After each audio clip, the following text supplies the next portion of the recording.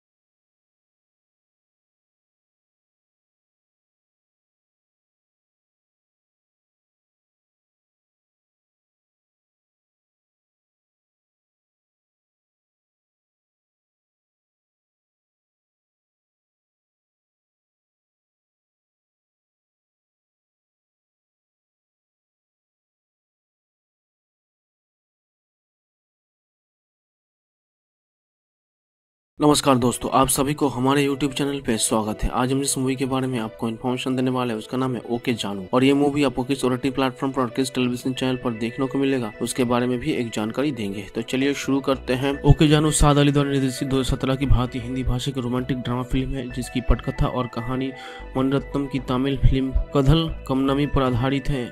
और इसे रत्नम और करण जौहर ने अपने बैनर, मद्रास टॉकीज और धर्मा प्रोडक्शन के तहत निर्मित किया है। ये रत्नम की तमिल फ़िल्म है। कधल कनमानी के रीमेक है। फ़िल्म में आदित्य रॉय कपूर और श्रद्धा कपूर है, जिसमें नसरुद्दीन शाह और लीला मेसरोन सहित सहायक कलाकारों है, जिसमें से बाद वाले दिखाई गई और साथ ही साथ अपने हिंदी डेब्यू को भी चिन्हित किया, जो नायक के जमींदारों का निधन करते हैं। ईसा कक्कर ने तारा के पूर्व प्रेमी की भूमिका निभाई है। ए आर रहमान ने फ़िल्म के स्कोर और साउंड ट्रैक की रचना की। गुलजार ने फ़िल्म के बोल और संवाद लिखे हैं। आदित्य आदि गुलजार, आदित्य राय कपूर अपने बॉक्स प्रभात कक्कर से स्वामित्व वाली एक गेमिंग्स कंपनी के लिए काम करने के लिए मुंबई आते हैं, जो एक वीडियो गेम डिलीवर के रूप में संयुक्त राज्यों में इसे बड़ा बनाने की इच्छा रखते हैं। मुंबई में रेलवे स्टेशन पर एक लड़की श्रद्धा कपूर के बगल में प्लेटफॉर्म पर एक ट्रेन के सामने कूदने की कोशिश कर रहे हैं। भयभीत आदि उसे चिल्लाता है, उसके बाद लड़की गायब हो जाती है। यादि गोपी श्रीवास्तव के घर, नसरुद्दीन शाह, आपने बड़े भाई के वरिष्ठ पति अपनी पत्नी चारूशिला समेसर के साथ रहने वाली एक सख सेवानिवृत्त उच्च न्यायालय के न्यायाधीश के घर में चला जाता है। चारू एक प्रसिद्ध हिंदुस्तानी शास्त्रीय गायिका है जो स्टेज हो, जल्दा, अल्लाह रोग से पीड़ित है। काम पर अपने पहले दिन आने की उसके दोस्त बंटी ने अपने मालिक को अपने खेल मुंबई 2.0 का विरोध, विचार देने के लिए प्रोत्साहित किया। आदि अपने बॉक्स को, बॉस को प्रभावित करते हैं और एक प्रतियोगिता के लिए लॉस एंजलिस के लिए एक पेट्रो टाइम्स तैयार करने के लिए लॉन्च महीने की समय सीमा प्राप्त करते हैं। बाद में अपने दोस्त जेनी की शादी में या आदि स्टेशन में लड़की को देखता है। लड़की तारा अग्निहोत्री के रूप में अपना परिचय देती आदि को पता चलता है कि तारा पेरिस में आर्किटेक्ट की पढ़ाई करने की योजना बना रहे हैं और वो कहता है कि वो मार्क जुगरबर्ग की तरह एक बड़ा शॉट बनने का सपना देखता है। आदि और तारा ने विवाह संस्था की शीतलता के बारे में अपना धारणाओं को तोड़ दिया। तारा ने यह भी खुलासा किया कि रेलवे स्टेशन पर उसकी हरकत के पूर्व सीमा प्रेमी से छुटकारा पाने के एक चाल थी जो उससे शादी करना चाहता था। उसके बाद वे बाहर घूमते हैं। शहर की खोज करते हैं। अगले दिन आदि काम के सिलसिले में तारा को अहमदाबाद ले जाता है। तारा आदि को बस भसरमती आश्रम में ले जाती है, जहाँ वो बचपन में अपने पिता के साथ जाया करती है। वो खुलासा करती है कि उसके अभी शादी ना करने का फैसला उसके माता पिता की टूटी शादी से उकसाया गया था। आदि और तारा अपने अपने करियर के लिए अलग अलग रास्ते जाने से पहले एक दूसरे के साथ रहने का फैसला करते दोनों अपनी इच्छा से गोपी और चारू के पास जाते हैं। गोपी शुरू में उनकी इच्छा से पूरी तरह असहमत है, लेकिन फिर जब तारा अपने शास्त्रीय गायन क्षमता से चारू का प्रभावित करते हैं तो वो हार मानने की फैसला करते हैं। आदि का परिवार आदि को एक औचौर भेंट देने की योजना बनाते हैं और उसकी भाभी को पता चलता है कि वो तारा के साथ रह रही है, जिसका उसका भाई दृढ़ता से विरोध करते करेगा। वो तारा से उसके भविष्य के बारे में सोचने के लिए कहती है। जब किसी समय तारा को अपने प्यार और अपने करियर के में से किसी एक को चुनना होगा। तारा और आदि खुशी से रहने हैं। अपने प्यार आपसी सगाई, सौदाई और बढ़ते आत्मीयता और लगाव के रोमांस प्राप्त करते हुए तारा की पेरिस स्थित संस्थान में प्रवेश को मंजूरी मिल गई है। तारा गोपी को इस बारे में बताती है कि उसे विश्वास दिलाती है कि अब उसके लिए आदि को छोड़कर इतनी दूर जाना मुश्किल हो सकता है। अगले दिन तारा काम के सिलसिले में जयपुर जाती है और आदि से बहुत याद करने लगता है। तारा की संपन्न माँ आदि को कानपुर बुलाती है, जो अपनी बेटी के इरादों को जानना चाहती है। नतीजतः तारा जयपुर से लौटने पर यादी को लापता पाती है और उसे बुरी तरह से खोजती है। ये महसूस करती हुई कि उसकी बिना रहने हैं, वह खुद ही हो जाएँगी। तारा और आदि अपने जीवन में एक दूसरे को उपस्थिति के महत्व को समझने के लगते हैं खासकर गोपी के अपनी बीमार पत्नी के लिए प्यार और धैर्यों की देखकर एक दिन वो लापता हो जाती है क्योंकि वो अपने घर का रास्ता भूल जाते हैं और तारा और आदि को भारी बारिश में एक मंदिर में मंच पर बैठ हुए मिलते हैं। तारा की माँ आदि के परिवार से शादी के बारे में बात करने के लिए जाती है। इससे तारा नाराज़ हो जाती है। बाद में दिन में यादी का खेल मुंबई 2.0 लॉस एंजलिस में प्रतियोगिता के लिए चुना जाता है, जिसका अर्थ है कि उस दुल्ह की संयुक्त राज्यों के लिए रवाना होना है। वो जेनी में विश्वास करता है इसके लिए तारा के पास जाता कठिन होगा। तारा की काफ़ी परेशान नज़र आता है, अगले दिन आदि, और तारा अगले इस दस दिनों के लिए पूरी तरह से आनंद लेने के लिए एक समझौता करते हैं, जिनके बाद अंतत अपने अलग रास्ते पर चले जाएँगे। एक दिन तारू फिर से लापता हो जाती है। उसकी ला तलाश करते हुए वे अपने रिश्ते के बारे में बताना चाहते शुरू कर देते हालाँकि चारू को खोजने और उसे अपने पति को घर वापस लाने के बाद आदि अंतत तारा को उनके गंतव्य के लिए जाने से पहले शादी का प्रस्ताव देता है। वे गोपी के घर में करीबी दोस्तों और परिवार के बीच शादी करते हैं। शादी के बाद दोनों अपने सपनों को पूरा करना जारी रखते हैं। एक पेरिस में और दूसरा लॉस एंजलिस में संपर्क में रहते हुए और दोनों दिन फिर से एक साथ होने का इंतज़ार करते हैं। एक अंत क्रेडिट का रोल उनके बाकी कहानी एनिमेशन में विभाग निभाता है, उनके साथ अंत में एक दिन एक साथ रहने थे हैं और एक परिवार शुरू करते हैं। फेगन आदित्य रॉय कपूर आदित्य आदि जुगल तारा के पति के रूप में तारा गुंगलाज अग्निहोत्री के रूप में श्रद्धा कपूर, मोना शोध सिट्टी के रूप में कुछ पंक्तियाँ, आदित्य की पत्नी हसुद्दीन शाह, गोपी पगलू श्रीमान के रूप में लीला शाहरू श्रीवास्तव के रूप में रवि जुंगल आदि के भाई के रूप में, विजयकर कोहली आदि के माली के रूप में, प्रहलाद कक्कर सुरक्षा गार्ड के रूप में कोलोराम दास फ़िल्म का स्कोर और sound track A R Rahman द्वारा रचित है, जबकि गीत के बोल गुलजार द्वारा लिखे गए हैं। रहमान ने तीन गानों को छोड़कर ओ ओ कधल कनमनी के तमिल साउंड ट्रैक से अपनी अधिकांश रचनाओं का पुनः उपयोग किया। उन्होंने फ़िल्म के लिए दो नए गीतों की रचना की है, जी, जे सिनेमा का और मला गर्ल कर्टन के हिंदी संरक्षक है जो तमिल संस्करण का हिस्सा थे। परंतु सेलावा का हिंदी संस्करण रत्नम की 1995 की तमिल फ़िल्म बॉम्बे से रहमान की पुरानी क्लासिक हम्मा हम्मा का कबर संस्करण, द हम्मा हंगा के रूप में डब किया गया। कबर बादशाह और तनिष्क बख्शी द्वारा किया गया था। पूर्ण sound track Sony music India द्वारा चार जनवरी दो को जारी किया गया था। ये रत्नम की तमिल फ़िल्म है। कधल कनमनी के रिमेक है। फ़िल्म में आदित्य रॉय कपूर और श्रद्धा कपूर है, जिसमें नसरुद्दीन शाह और लीला मेसरोन सहित सहायक कलाकारों है, जिसमें से बाद वाले दिखाई गए और साथ ही साथ अपने हिंदी डेब्यू को भी चिन्हित किया, जो नायक के जमींदारों का निधन करते हैं। ईसा कक्कर ने तारा के पूर्व प्रेमी की भूमिका निभाई है। ए आर रहमान ने फ़िल्म के स्कोर और साउंड ट्रैक की रचना की। गुलजार ने फ़िल्म के बोल और संवाद लिखे हैं।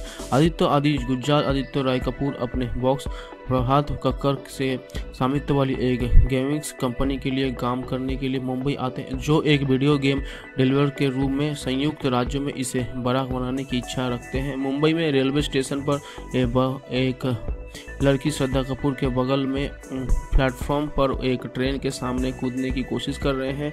भयभीत आदि उसे चिल्लाता है। उसके बाद लड़की गायब हो जाती है। यादि, गोपी श्रीवास्तव के घर, नसरुद्दीन शाह, आपने बड़े भाई के वरिष्ठ पति, अपनी पत्नी चारूशीला समेसर के साथ रहने वाली एक सख सेवानिवृत्त उच्च न्यायालय के न्यायाधीश के घर में चला जाता है। चारू एक प्रसिद्ध हिंदुस्तानी शास्त्रीय गायिका है जो स्टेज हो, जल्दा अल्लाजमर रोग से पीड़ित है। काम पर अपने पहले दिन आने की उसके दोस्त बंटी ने अपने मालिक को अपने खेल मुंबई 2.0 का विरोध विचार देने के लिए प्रोत्साहित किया। आदि अपने बॉक्स को, बॉस को प्रभावित करते हैं और एक प्रतियोगिता के लिए लॉन्च एंजलिस के लिए एक पेट्रो टाइम्स तैयार करने के लिए लॉन्च महीने की समय सीमा प्राप्त करते हैं। बाद में अपने दोस्त जेनी की शादी में या आदि स्टेशन में लड़की को देखता है। लड़की तारा अग्निहोत्री के रूप में अपना परिचय देती आदि को पता चलता है कि तारा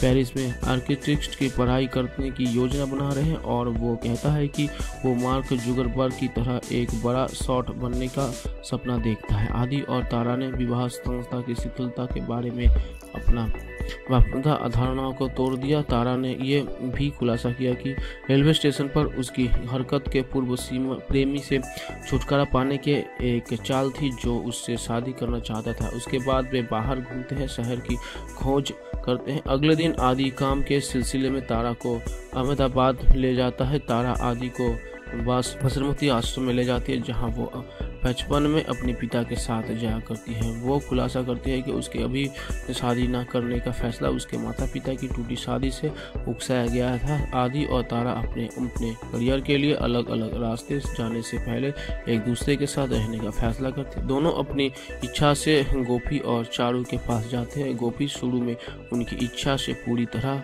असहमत है, लेकिन फिर जब तारा अपनी शास्त्रीय गायन क्षमता से चारू का प्रभावित करते हैं तो वो हार मानने की फैसला करते हैं। आदि का परिवार आदि को एक औचौर भेंट देने की योजना बनाते हैं और उसकी भाभी को पता चलता है कि वो तारा के साथ रह रही है, जिसका उसका भाई दृढ़ता से विरोध करते करेगा। वो तारा से उसके भविष्य के बारे में सोचने के लिए कहती है, जब किसी समय तारा को अपने प्यार और अपने करियर के में से किसी एक को चुनना होगा, तारा और आदि खुशी से रहने हैं। अपने प्यार आपसी सगाई, सौदाई और बढ़ते आत्मीयता और लगाव के रोमांस प्राप्त करते हुए तारा की पेरिस स्थित संस्थान प्रवेश को मंजूरी मिल गई है। तारा गोपी को इस बारे में बताती है कि उसे विश्वास दिलाती है कि अब उसके लिए आदि को छोड़कर इतनी दूर जाना मुश्किल हो सकता है। अगले दिन तारा काम के सिलसिले में जयपुर जाती है और आदि से बहुत याद करने लगता है। तारा की संपन्न माँ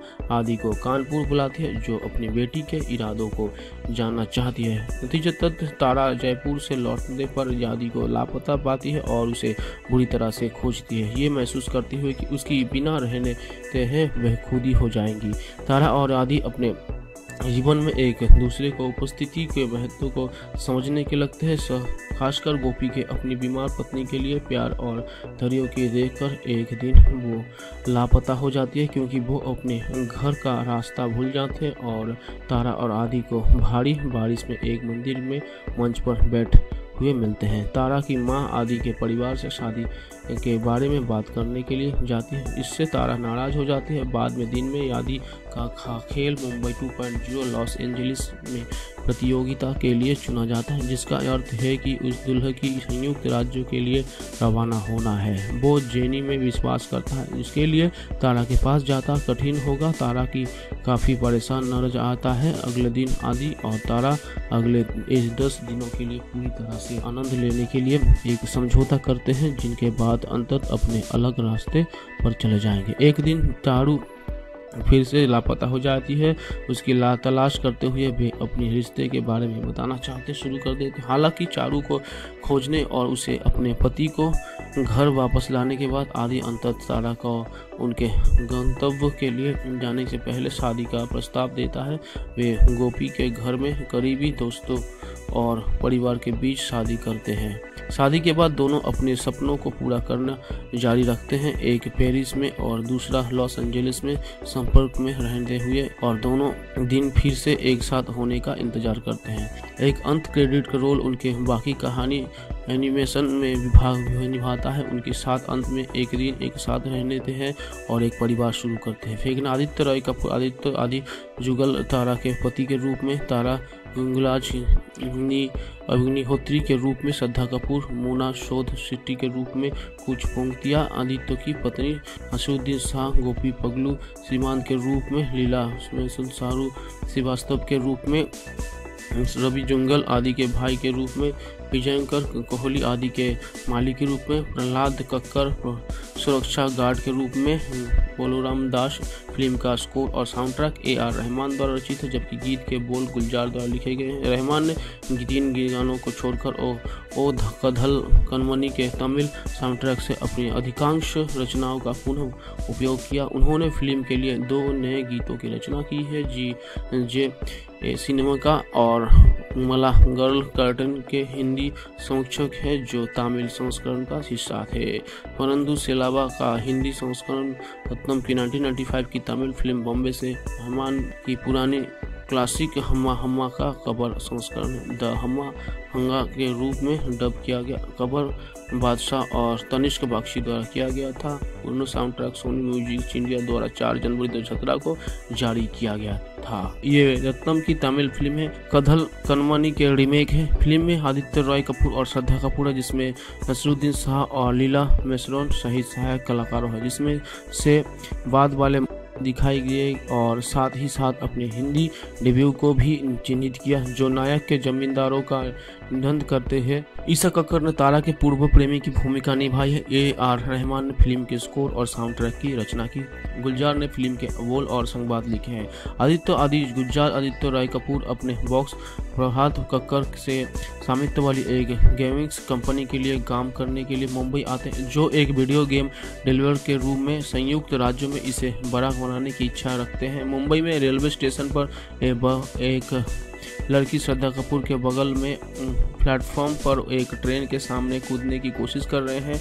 भयभीत आदि उसे चिल्लाता है, उसके बाद लड़की गायब हो जाती है। यादि, गोपी श्रीवास्तव के घर, नसरुद्दीन शाह, आपने बड़े भाई के वरिष्ठ पति, अपनी पत्नी चारूशिला सेमेसर के साथ रहने वाली एक सख सेवानिवृत्त उच्च न्यायालय के न्यायाधीश के घर में चला जाता है। चारू एक प्रसिद्ध हिंदुस्तानी शास्त्रीय गायिका है जो स्टेज हो, जल्दा अल्लाजमर रोग से पीड़ित है। काम पर अपने पहले दिन आने की उसके दोस्त बंटी ने अपने मालिक को अपने खेल मुंबई 2.0 का विरोध, विचार देने के लिए प्रोत्साहित किया। आदि अपने बॉक्स को बॉस को प्रभावित करते हैं और एक प्रतियोगिता के लिए लॉन्च एंजलिस के लिए एक पेट्रो टाइम्स तैयार करने के लिए लॉन्च महीने की समय सीमा प्राप्त करते हैं। बाद में अपने दोस्त जेनी की शादी में या आदि स्टेशन में लड़की को देखता है। लड़की तारा अग्निहोत्री के रूप में अपना परिचय देती आदि को पता चलता है कि तारा पेरिस में आर्किटेक्ट की पढ़ाई करने की योजना बना रहे हैं और वो कहता है कि वो मार्क जुगरबर्ग की तरह एक बड़ा शॉट बनने का सपना देखता है। आदि और तारा ने विवाह संस्था की शीतलता के बारे में अपना धारणाओं को तोड़ दिया। तारा ने यह भी खुलासा किया कि रेलवे स्टेशन पर उसकी हरकत के पूर्व सीमा प्रेमी से छुटकारा पाने के एक चाल थी जो उससे शादी करना चाहता था। उसके बाद वे बाहर घूमते हैं, शहर की खोज करते हैं। अगले दिन आदि काम के सिलसिले में तारा को अहमदाबाद ले जाता है। तारा आदि को बस फसरमती आश्रम में ले जाती है, जहाँ वो बचपन में अपने पिता के साथ जाया करती है। वो खुलासा करती है कि उसके अभी शादी न करने का फैसला उसके माता पिता की टूटी शादी से उकसाया गया था। आदि और तारा अपने अपने करियर के लिए अलग अलग रास्ते जाने से पहले एक दूसरे के साथ रहने का फैसला करते। दोनों अपनी इच्छा से गोपी और चारू के पास जाते हैं। गोपी शुरू में उनकी इच्छा से पूरी तरह असहमत है, लेकिन फिर जब तारा अपनी शास्त्रीय गायन क्षमता से चारू का प्रभावित करते हैं तो वो हार मानने की फैसला करते हैं। आदि का परिवार आदि को एक औचौर भेंट देने की योजना बनाते हैं और उसकी भाभी को पता चलता है कि वो तारा के साथ रह रही है, जिसका उसका भाई दृढ़ता से विरोध करते करेगा। वो तारा से उसके भविष्य के बारे में सोचने के लिए कहती है, जब किसी समय तारा को अपने प्यार और अपने करियर के में से किसी एक को चुनना होगा, तारा और आदि खुशी से रहने हैं। अपने प्यार आपसी सगाई, सदाई और बढ़ते आत्मीयता और लगाव के रोमांस प्राप्त करते हुए तारा की पेरिस स्थित संस्थान प्रवेश को मंजूरी मिल गई है। तारा गोपी को इस बारे में बताती है कि उसे विश्वास दिलाती है कि अब उसके लिए आदि को छोड़कर इतनी दूर जाना मुश्किल हो सकता है।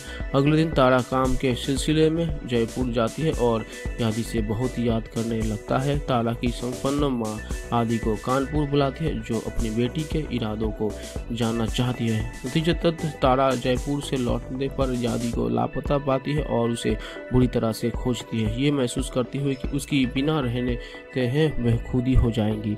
तारा और आदि अपने जीवन में एक दूसरे को, उपस्थिति के महत्व को समझने के लगते हैं।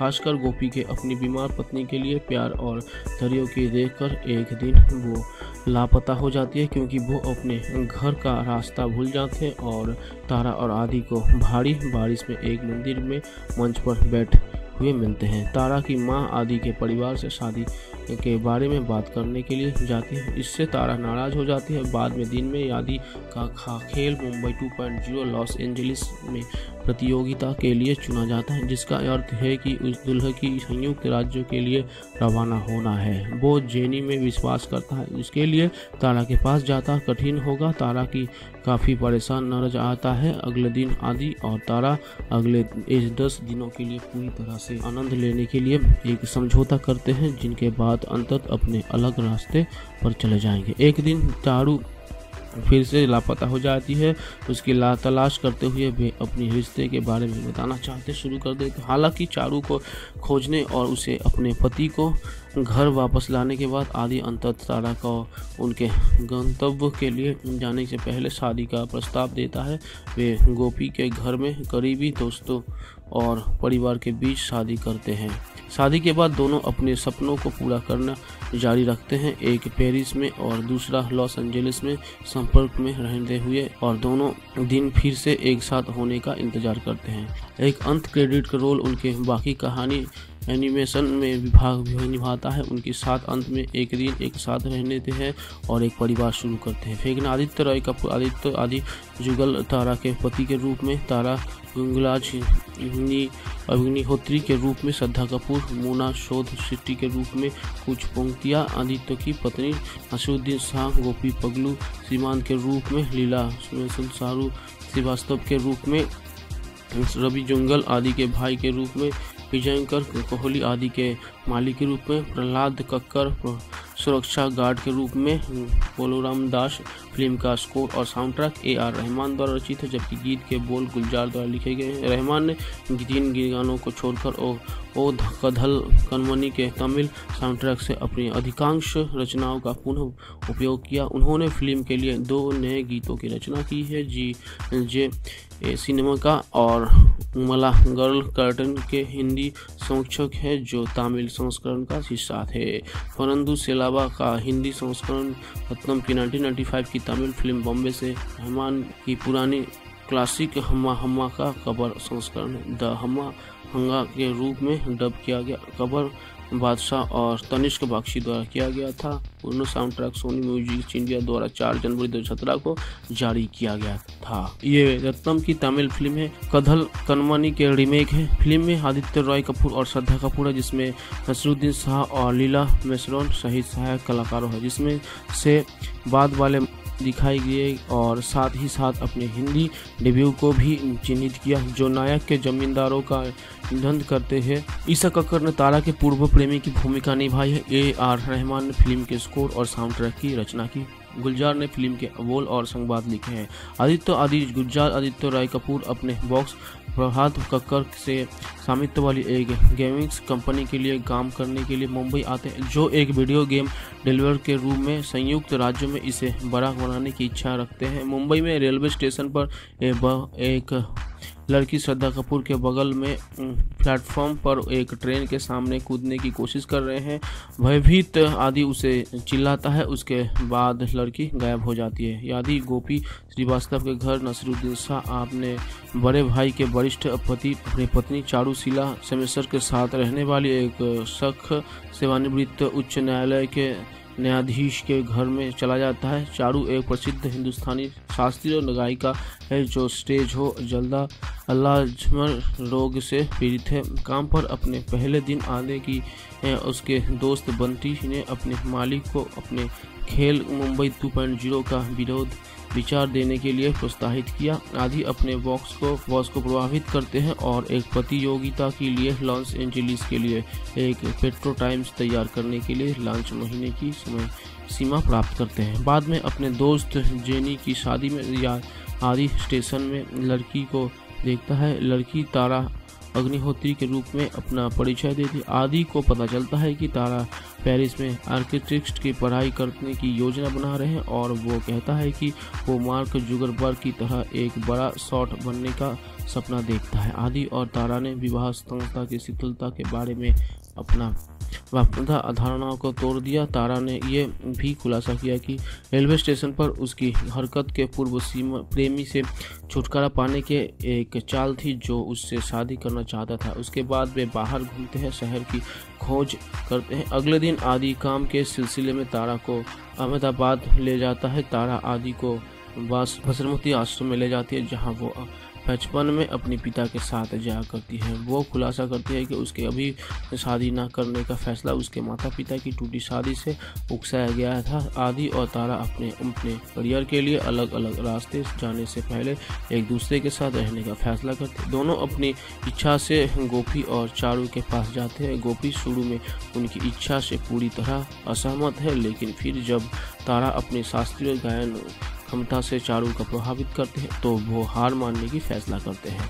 आदि का परिवार आदि को एक औचौर भेंट देने की योजना बनाते हैं और उसकी भाभी को पता चलता है कि वो तारा के साथ रह रही है, जिसका उसका भाई दृढ़ता से विरोध करते करेगा। वो तारा से उसके भविष्य के बारे में सोचने के लिए कहती है, जब किसी समय तारा को अपने प्यार और अपने करियर के में से किसी एक को चुनना होगा, तारा और आदि खुशी से रहने हैं। अपने प्यार आपसी सगाई, सौदाई और बढ़ते आत्मीयता और लगाव के रोमांस प्राप्त करते हुए तारा की पेरिस स्थित संस्थान में प्रवेश को मंजूरी मिल गई है। तारा गोपी को इस बारे में बताती है कि उसे विश्वास दिलाती है कि अब उसके लिए आदि को छोड़कर इतनी दूर जाना मुश्किल हो सकता है।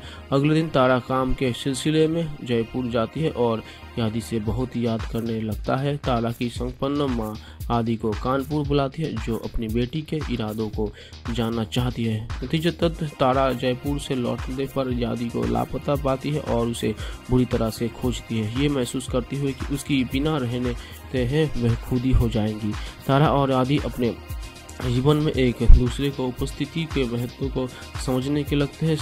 खासकर गोपी के अपनी बीमार पत्नी के लिए प्यार और धैर्य की देखकर एक दिन वो लापता हो जाती है क्योंकि वो अपने घर का रास्ता भूल जाते हैं और तारा और आदि को भारी बारिश में एक मंदिर में मंच पर बैठ हुए मिलते हैं। तारा की माँ आदि के परिवार से शादी के बारे में बात करने के लिए जाती है। इससे तारा नाराज़ हो जाती है। बाद में दिन में यादी का खेल मुंबई 2.0 लॉस एंजलिस में प्रतियोगिता के लिए चुना जाता है, जिसका अर्थ है कि उस दुल्हन की संयुक्त राज्यों के लिए रवाना होना है। वो जेनी में विश्वास करता है, जिसके लिए तारा के पास जाता कठिन होगा। तारा की काफ़ी परेशान नज़र आता है अगले दिन आदि, और तारा अगले इस दस दिनों के लिए पूरी तरह से आनंद लेने के लिए एक समझौता करते हैं, जिनके बाद अंतत अपने अलग रास्ते पर चले जाएँगे। एक दिन तारू फिर से लापता हो जाती है। उसकी ला तलाश करते हुए वे अपने रिश्ते के बारे में बताना चाहते शुरू कर देते हालाँकि चारू को खोजने और उसे अपने पति को घर वापस लाने के बाद आदि अंत तारा को उनके गंतव्य के लिए जाने से पहले शादी का प्रस्ताव देता है। वे गोपी के घर में करीबी दोस्तों और परिवार के बीच शादी करते हैं। शादी के बाद दोनों अपने सपनों को पूरा करना जारी रखते हैं। एक पेरिस में और दूसरा लॉस एंजलिस में संपर्क में रहते हुए और दोनों दिन फिर से एक साथ होने का इंतज़ार करते हैं। एक अंत क्रेडिट का रोल उनके बाकी कहानी एनिमेशन में विभाग निभाता है। उनके साथ अंत में एक दिन एक साथ रहने थे हैं और एक परिवार शुरू करते हैं। फेगन आदित्य रॉय कपूर आदित्य, आदि जुगल तारा के पति के रूप में तारा गुंगलाज अग्निहोत्री के रूप में श्रद्धा कपूर, मोना शोध सिटी के रूप में कुछ पंक्तियाँ, आदित्य की पत्नी असुद्दीन शाह, गोपी पगलू सीमांत के रूप में लीला शाहरू श्रीवास्तव के रूप में रवि जुंगल आदि के भाई के रूप में, विजयंकर कोहली आदि के मालिक के रूप में, प्रहलाद कक्कर सुरक्षा गार्ड के रूप में, बोलोराम दास फ़िल्म का स्कोर और sound track A R Rahman द्वारा रचित है, जबकि गीत के बोल गुलजार द्वारा लिखे गए हैं। रहमान ने तीन गानों को छोड़कर ओ ओ कधल, कनमनी के तमिल साउंड ट्रैक से अपनी अधिकांश रचनाओं का पुनः उपयोग किया। उन्होंने फ़िल्म के लिए दो नए गीतों की रचना की है, जी, जे सिनेमा का और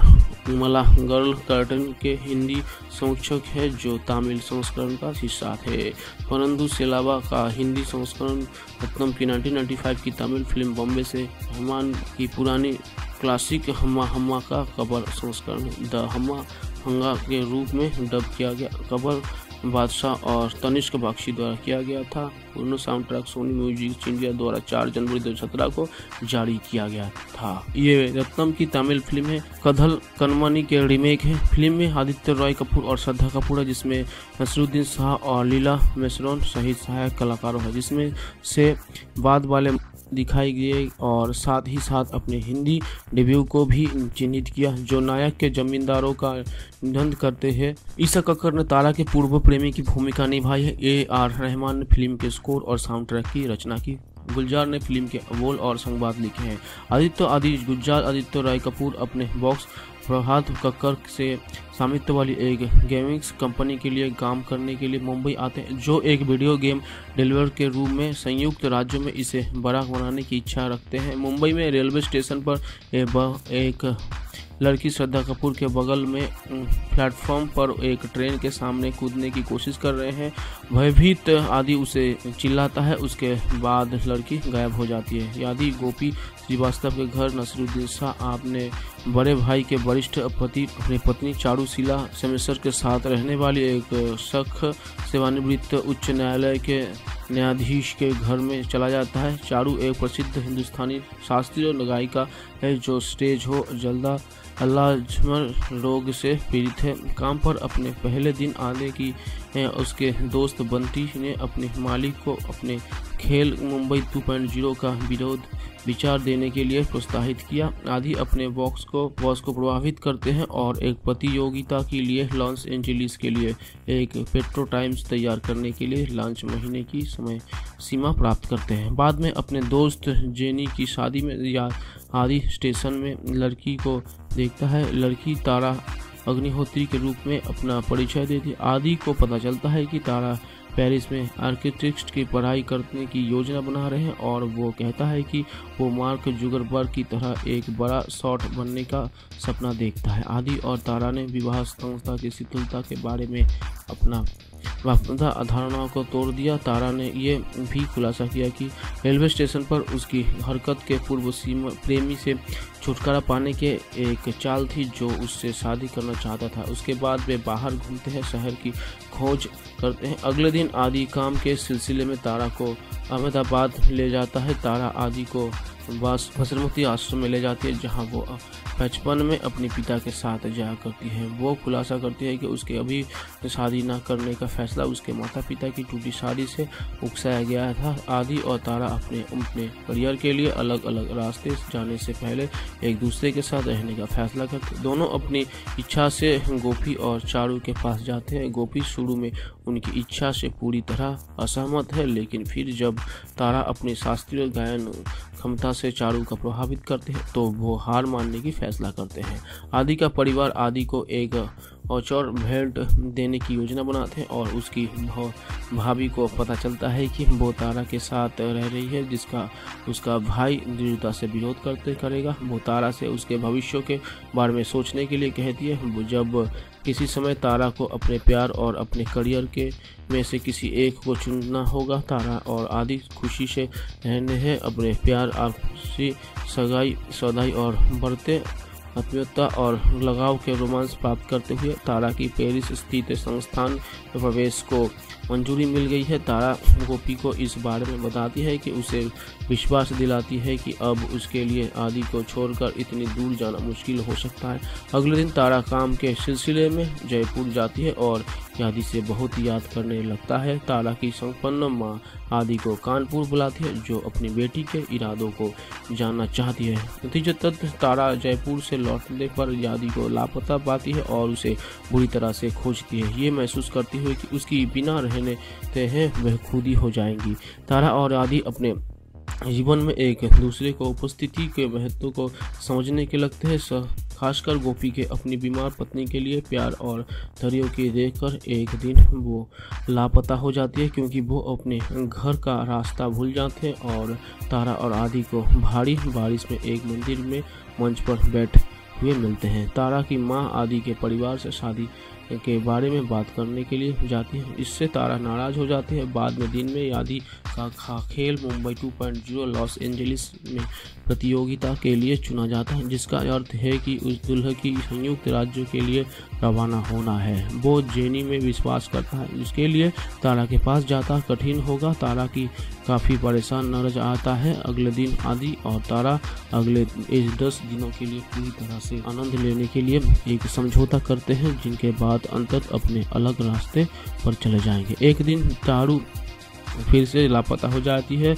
उसकी ला तलाश करते हुए वे अपने रिश्ते के बारे में बताना चाहते शुरू कर देते हालाँकि चारू को खोजने और उसे अपने पति को घर वापस लाने के बाद आदि अंत तारा को उनके गंतव्य के लिए जाने से पहले शादी का प्रस्ताव देता है। वे गोपी के घर में करीबी दोस्तों और परिवार के बीच शादी करते हैं। शादी के बाद दोनों अपने सपनों को पूरा करना जारी रखते हैं। एक पेरिस में और दूसरा लॉस एंजलिस में संपर्क में रहते हुए और दोनों दिन फिर से एक साथ होने का इंतज़ार करते हैं। एक अंत क्रेडिट का रोल उनके बाकी कहानी एनिमेशन में विभाग निभाता है। उनके साथ अंत में एक दिन एक साथ रहने हैं और एक परिवार शुरू करते हैं। फेगन, आदित्य रॉय कपूर, आदित्य, आदि जुगल, तारा के पति के रूप में तारा गुलाज अग्निहोत्री के रूप में श्रद्धा कपूर, मोना शोध सिटी के रूप में कुछ पंक्तियाँ, आदित्य की पत्नी हसुद्दीन शाह, गोपी पगलू सीमान के रूप में लीला शाहरू श्रीवास्तव के रूप में रवि जुंगल आदि के भाई के रूप में विजयंकर कोहली आदि के मालिक के रूप में प्रहलाद कक्कर सुरक्षा गार्ड के रूप में बोलोराम दास, फ़िल्म का स्कोर और sound track A R Rahman द्वारा रचित है, जबकि गीत के बोल गुलजार द्वारा लिखे गए हैं। रहमान ने तीन गानों को छोड़कर ओ ओ कधल, कनमनी के तमिल साउंड ट्रैक से अपनी अधिकांश रचनाओं का पुनः उपयोग किया। उन्होंने फ़िल्म के लिए दो नए गीतों की रचना की है, जी, जे सिनेमा का और मला गर्ल कर्टन के हिंदी संरक्षक है जो तमिल संस्करण का हिस्सा थे। परंतु सेलावा का हिंदी संस्करण रत्नम की 1995 की तमिल फ़िल्म बॉम्बे से रहमान की पुरानी क्लासिक हम्मा हम्मा का कबर संस्करण है। द हम्मा हंगा के रूप में डब किया गया। कबर बादशाह और तनिष्क बख्शी द्वारा किया गया था। दोनों sound track Sony music India द्वारा 4 जनवरी दो हज़ार सत्रह को जारी किया गया था। ये रत्नम की तमिल फ़िल्म है। कधल कनमनी के रीमेक है। फ़िल्म में आदित्य रॉय कपूर और श्रद्धा कपूर है, जिसमें नसरुद्दीन शाह और लीला मिश्रोन सहित सहायक कलाकारों है, जिसमें से बाद वाले दिखाई गए और साथ ही साथ अपने हिंदी डेब्यू को भी चिन्हित किया, जो नायक के जमींदारों का निधन करते हैं। ईसा कक्कर ने तारा के पूर्व प्रेमी की भूमिका निभाई है। ए आर रहमान ने फ़िल्म के स्कोर और साउंड ट्रैक की रचना की। गुलजार ने फ़िल्म के बोल और संवाद लिखे हैं। आदित्य आदि गुलजार, आदित्य राय कपूर अपने बॉक्स प्रभात कक्कर से स्वामित्व वाली एक गेमिंग्स कंपनी के लिए काम करने के लिए मुंबई आते हैं। जो एक वीडियो गेम डिलीवर के रूप में संयुक्त राज्यों में इसे बड़ा बनाने की इच्छा रखते हैं। मुंबई में रेलवे स्टेशन पर एक लड़की श्रद्धा कपूर के बगल में प्लेटफॉर्म पर एक ट्रेन के सामने कूदने की कोशिश कर रहे हैं।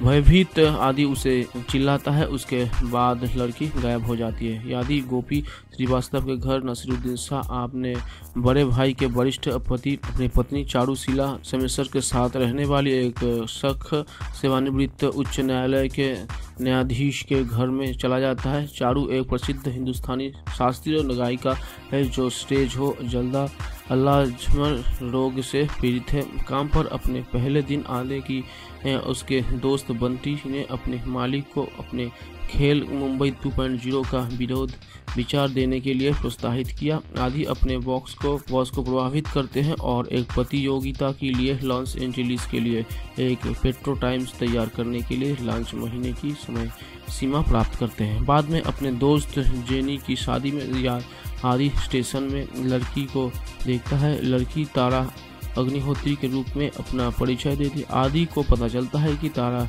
पेरिस में आर्किटेक्ट की पढ़ाई करने की योजना बना रहे हैं और वो कहता है कि वो मार्क जुगरबर्ग की तरह एक बड़ा शॉट बनने का सपना देखता है। आदि और तारा ने विवाह संस्था की शिथिलता के बारे में अपना वापदा अधारणाओं को तोड़ दिया। तारा ने यह भी खुलासा किया कि रेलवे स्टेशन पर उसकी हरकत के पूर्व सीमा प्रेमी से छुटकारा पाने के एक चाल थी जो उससे शादी करना चाहता था। उसके बाद वे बाहर घूमते हैं, शहर की खोज करते हैं। अगले दिन आदि काम के सिलसिले में तारा को अहमदाबाद ले जाता है। तारा आदि को बसरमती आश्रम में ले जाती है, जहाँ वो बचपन में अपने पिता के साथ जाया करती है। वो खुलासा करती है कि उसके अभी शादी न करने का फैसला उसके माता पिता की टूटी शादी से उकसाया गया था। आदि और तारा अपने अपने करियर के लिए अलग अलग रास्ते जाने से पहले एक दूसरे के साथ रहने का फैसला करते दोनों अपनी इच्छा से गोपी और चारू के पास जाते हैं। गोपी शुरू में उनकी इच्छा से पूरी तरह असहमत है, लेकिन फिर जब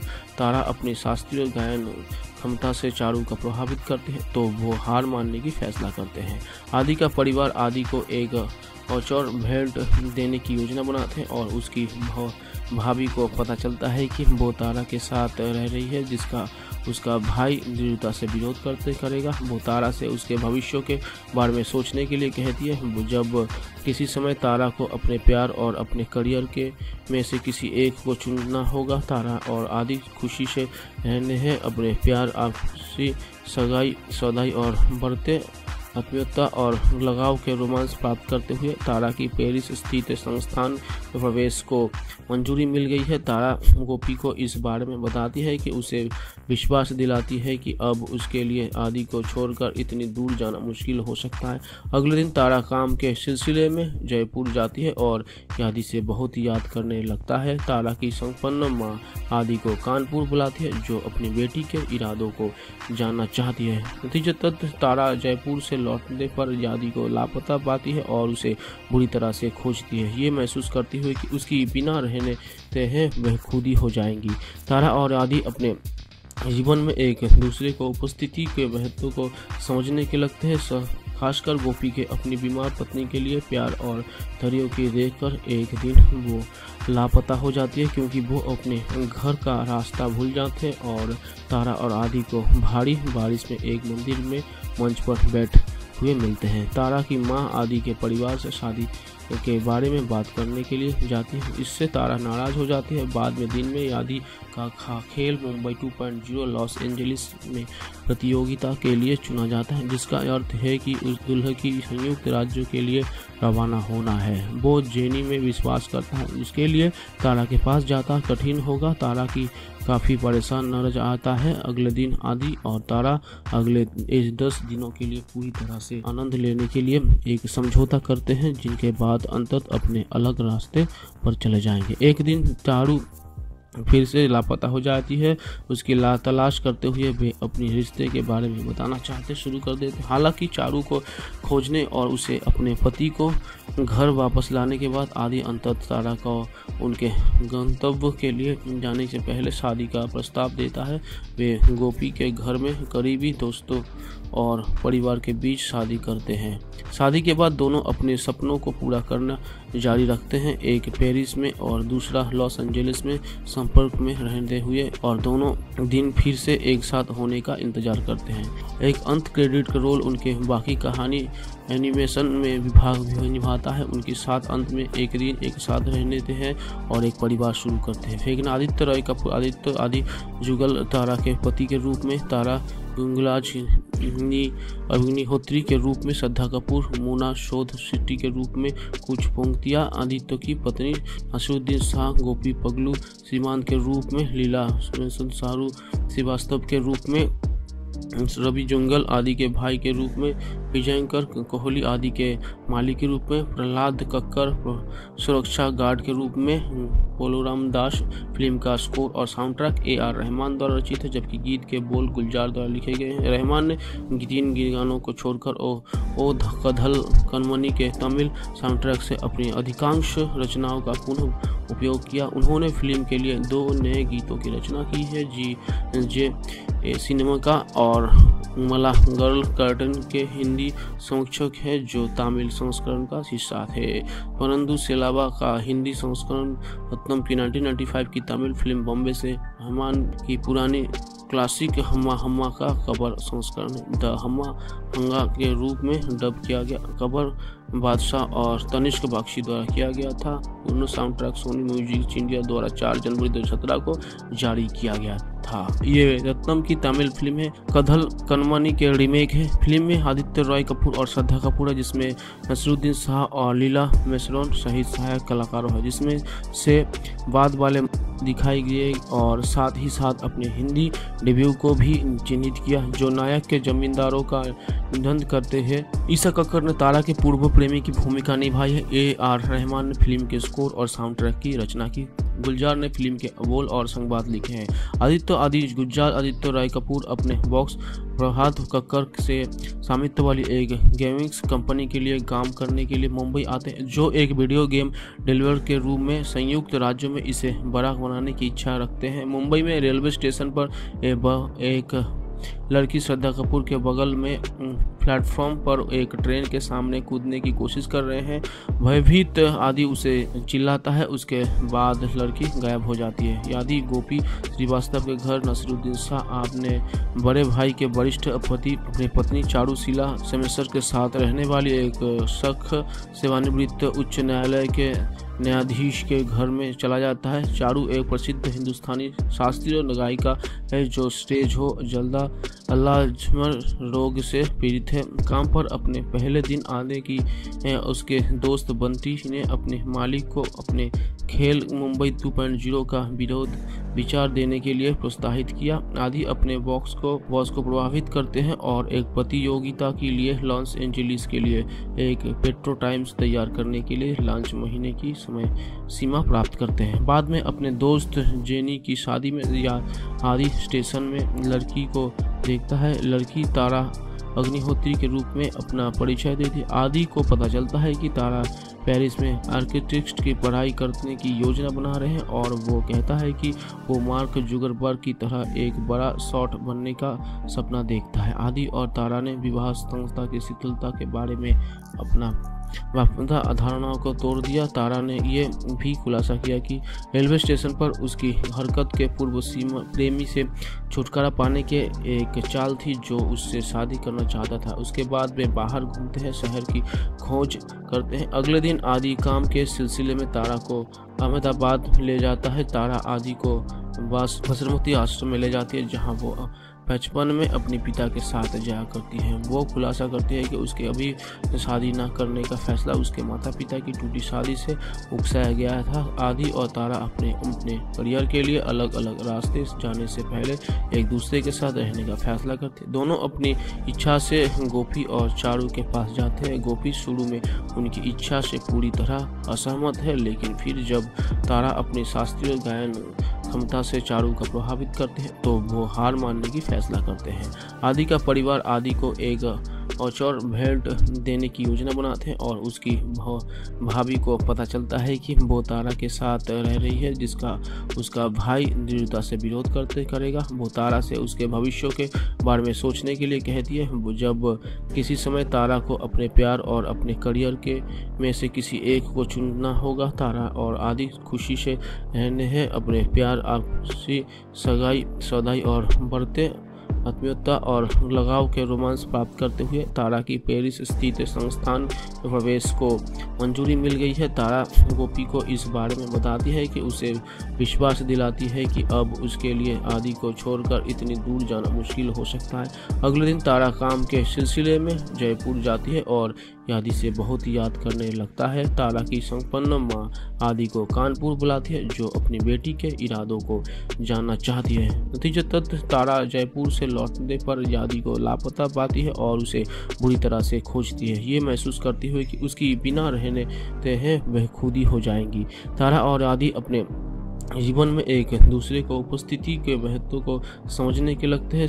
खासकर गोपी के अपनी बीमार पत्नी के लिए प्यार और धैर्य की देखकर एक दिन वो लापता हो जाती है क्योंकि वो अपने घर का रास्ता भूल जाते हैं और तारा और आदि को भारी बारिश में एक मंदिर में मंच पर बैठ हुए मिलते हैं। तारा की माँ आदि के परिवार से शादी के बारे में बात करने के लिए जाती है। इससे तारा नाराज़ हो जाती है। बाद में दिन में यादी का खा खेल मुंबई 2.0 लॉस एंजलिस में प्रतियोगिता के लिए चुना जाता है, जिसका अर्थ है कि उस दुल्ह की संयुक्त राज्यों के लिए रवाना होना है। वो जेनी में विश्वास करता है इसके लिए तारा के पास जाता कठिन होगा। तारा की काफ़ी परेशान नज़र आता है। अगले दिन आदि और तारा अगले इस दस दिनों के लिए पूरी तरह से आनंद लेने के लिए एक समझौता करते हैं, जिनके बाद अंतत अपने अलग रास्ते पर चले जाएँगे। एक दिन चारू फिर से लापता हो जाती है।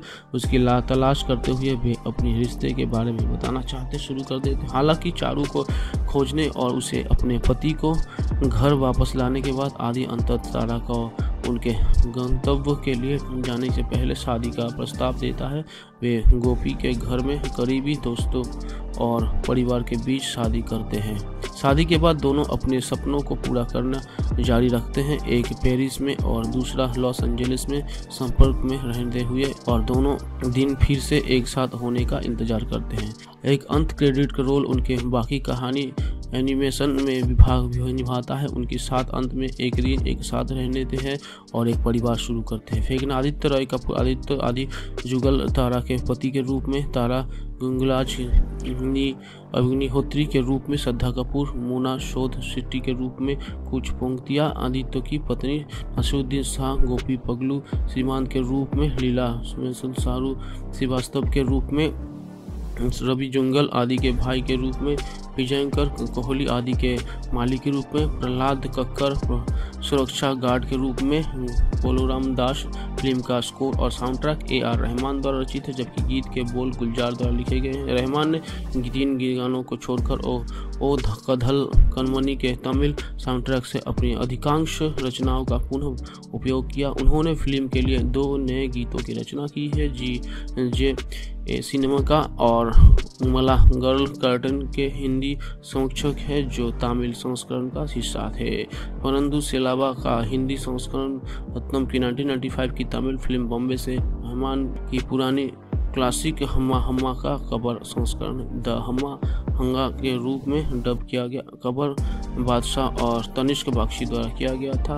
पूर्ण sound track Sony music India द्वारा 4 जनवरी दो को जारी किया गया था। ये रत्नम की तमिल फ़िल्म है। कधल कनमनी के रीमेक है। फ़िल्म में आदित्य रॉय कपूर और श्रद्धा कपूर है, जिसमें नसरुद्दीन शाह और लीला मिश्रोन सहित सहायक कलाकारों है, जिसमें से बाद वाले दिखाई गई और साथ ही साथ अपने हिंदी डेब्यू को भी चिन्हित किया, जो नायक के जमींदारों का निधन करते हैं। ईसा कक्कर ने तारा के पूर्व प्रेमी की भूमिका निभाई है। ए आर रहमान ने फ़िल्म के स्कोर और साउंड ट्रैक की रचना की। गुलजार ने फ़िल्म के बोल और संवाद लिखे हैं। आदित्य, आदि गुलजार, आदित्य राय कपूर अपने बॉक्स प्रभात कक्कर से स्वामित्व वाली एक गेमिंग्स कंपनी के लिए काम करने के लिए मुंबई आते हैं, जो एक वीडियो गेम डिलीवर के रूप में संयुक्त राज्यों में इसे बड़ा बनाने की इच्छा रखते हैं। मुंबई में रेलवे स्टेशन पर एक लड़की श्रद्धा कपूर के बगल में प्लेटफॉर्म पर एक ट्रेन के सामने कूदने की कोशिश कर रहे हैं। भयभीत आदि उसे चिल्लाता है। उसके बाद लड़की गायब हो जाती है। यादि, गोपी श्रीवास्तव के घर, नसरुद्दीन शाह, आपने बड़े भाई के वरिष्ठ पति, अपनी पत्नी चारूशीला सेमेसर के साथ रहने वाली एक सख, सेवानिवृत्त उच्च न्यायालय के न्यायाधीश के घर में चला जाता है। चारू एक प्रसिद्ध हिंदुस्तानी शास्त्रीय गायिका है जो स्टेज हो, जल्दा अल्लाजमर रोग से पीड़ित है। काम पर अपने पहले दिन आने की, है, उसके दोस्त बंटी ने अपने मालिक को अपने खेल मुंबई 2.0 का विरोध विचार देने के लिए प्रोत्साहित किया। आदि अपने बॉक्स को बॉस को प्रभावित करते हैं और एक प्रतियोगिता के लिए लॉन्स एंजलिस के लिए एक पेट्रो टाइम्स तैयार करने के लिए लॉन्च महीने की समय सीमा प्राप्त करते हैं। बाद में अपने दोस्त जेनी की शादी में या आदि स्टेशन में लड़की को देखता है, लड़की तारा अग्निहोत्री के रूप में अपना परिचय देती आदि को पता चलता है कि तारा पेरिस में आर्किटेक्ट की पढ़ाई करने की योजना बना रहे हैं और वो कहता है कि वो मार्क जुगरबर्ग की तरह एक बड़ा शॉट बनने का सपना देखता है। आदि और तारा ने विवाह संस्था की शीतलता के बारे में अपना वापदा अधारणाओं को तोड़ दिया। तारा ने ये भी खुलासा किया कि रेलवे स्टेशन पर उसकी हरकत के पूर्व सीमा प्रेमी से छुटकारा पाने के एक चाल थी जो उससे शादी करना चाहता था। उसके बाद वे बाहर घूमते हैं, शहर की खोज करते हैं। अगले दिन आदि काम के सिलसिले में तारा को अहमदाबाद ले जाता है। तारा आदि को बस बसरमती आश्रम में ले जाती है, जहाँ वो बचपन में अपने पिता के साथ जाया करती है। वो खुलासा करती है कि उसके अभी शादी न करने का फैसला उसके माता पिता की टूटी शादी से उकसाया गया था। आदि और तारा अपने अपने करियर के लिए अलग अलग रास्ते जाने से पहले एक दूसरे के साथ रहने का फैसला करते। दोनों अपनी इच्छा से गोपी और चारू के पास जाते हैं। गोपी शुरू में उनकी इच्छा से पूरी तरह असहमत है, लेकिन फिर जब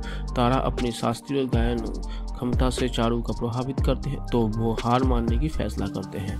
आदि का परिवार आदि को एक औचौर भेंट देने की योजना बनाते हैं और उसकी भाभी को पता चलता है कि वो तारा के साथ रह रही है, जिसका उसका भाई दृढ़ता से विरोध करते, करेगा। वो तारा से उसके भविष्य के बारे में सोचने के लिए कहती है। जब किसी समय तारा को अपने प्यार और अपने करियर के में से किसी एक को चुनना होगा, तारा और आदि खुशी से रहने हैं, अपने प्यार आपसी सगाई, सौदाई और बढ़ते आत्मीयता और लगाव के रोमांस प्राप्त करते हुए तारा की पेरिस स्थित संस्थान प्रवेश को मंजूरी मिल गई है। तारा गोपी को इस बारे में बताती है कि उसे विश्वास दिलाती है कि अब उसके लिए आदि को छोड़कर इतनी दूर जाना मुश्किल हो सकता है। अगले दिन तारा काम के सिलसिले में जयपुर जाती है और आदि से बहुत याद करने लगता है। तारा की संपन्न माँ आदि को कानपुर बुलाती है, जो अपनी बेटी के इरादों को जानना चाहती है। नतीजतः तारा जयपुर से लौटने पर यादी को लापता पाती है और उसे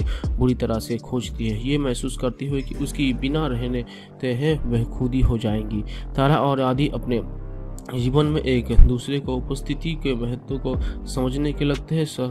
खासकर गोपी के अपनी बीमार पत्नी के लिए प्यार और धैर्य की देखकर एक दिन वो लापता हो जाती है क्योंकि वो अपने घर का रास्ता भूल जाते हैं और तारा और आदि को भारी बारिश में एक मंदिर में मंच पर बैठ हुए मिलते हैं। तारा की माँ आदि के परिवार से शादी के बारे में बात करने के लिए जाती है। इससे तारा नाराज़ हो जाती है। बाद में दिन में आदि का खा खेल मुंबई 2.0 लॉस एंजलिस में प्रतियोगिता के लिए चुना जाता है, जिसका अर्थ है कि उस दुल्ह की संयुक्त राज्यों के लिए रवाना होना है। वो जेनी में विश्वास करता है, जिसके लिए तारा के पास जाता कठिन होगा। तारा की काफ़ी परेशान नरज आता है। अगले दिन आदि और तारा अगले इस दस दिनों के लिए पूरी तरह से आनंद लेने के लिए एक समझौता करते हैं, जिनके बाद अंतत अपने अलग रास्ते पर चले जाएँगे। एक दिन तारू फिर से लापता हो जाती है।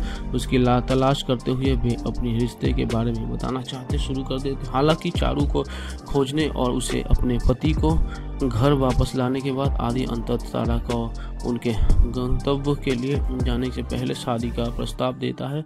वे गोपी के घर में करीबी दोस्तों और परिवार के बीच शादी करते हैं। शादी के बाद दोनों अपने सपनों को पूरा करना जारी रखते हैं। एक पेरिस में और दूसरा लॉस एंजलिस में संपर्क में रहते हुए और दोनों दिन फिर से एक साथ होने का इंतज़ार करते हैं।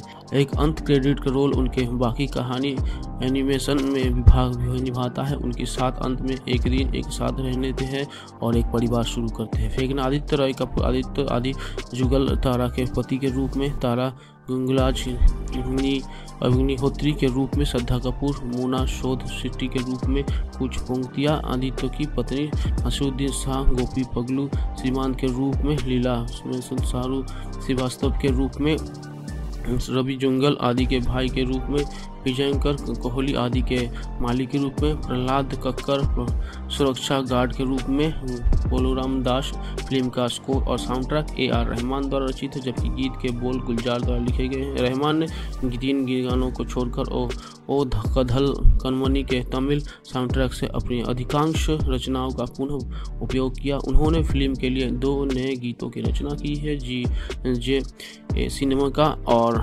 मला गर्ल कर्टन के हिंदी संरक्षक है जो तमिल संस्करण का हिस्सा थे।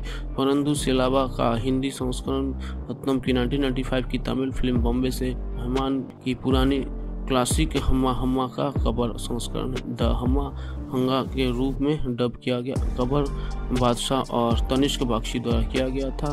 पूर्ण sound track Sony music India द्वारा 4 जनवरी दो को जारी किया गया था। ये रत्नम की तमिल फ़िल्म है। कधल कनमनी के रीमेक है। फ़िल्म में आदित्य रॉय कपूर और श्रद्धा कपूर है, जिसमें नसरुद्दीन शाह और लीला मेसरोन सहित सहायक कलाकारों है, जिसमें से बाद वाले दिखाई गए और साथ ही साथ अपने हिंदी डेब्यू को भी चिन्हित किया, जो नायक के जमींदारों का निधन करते हैं। ईसा कक्कर ने तारा के पूर्व प्रेमी की भूमिका निभाई है। ए आर रहमान ने फ़िल्म के स्कोर और साउंड ट्रैक की रचना की। गुलजार ने फ़िल्म के बोल और संवाद लिखे हैं। आदित्य आदि गुलजार, आदित्य राय कपूर अपने बॉक्स प्रभात कक्कर से स्वामित्व वाली एक गेमिंग्स कंपनी के लिए काम करने के लिए मुंबई आते हैं, जो एक वीडियो गेम डिलीवर के रूप में संयुक्त राज्यों में इसे बड़ा बनाने की इच्छा रखते हैं। मुंबई में रेलवे स्टेशन पर एक लड़की श्रद्धा कपूर के बगल में प्लेटफॉर्म पर एक ट्रेन के सामने कूदने की कोशिश कर रहे हैं।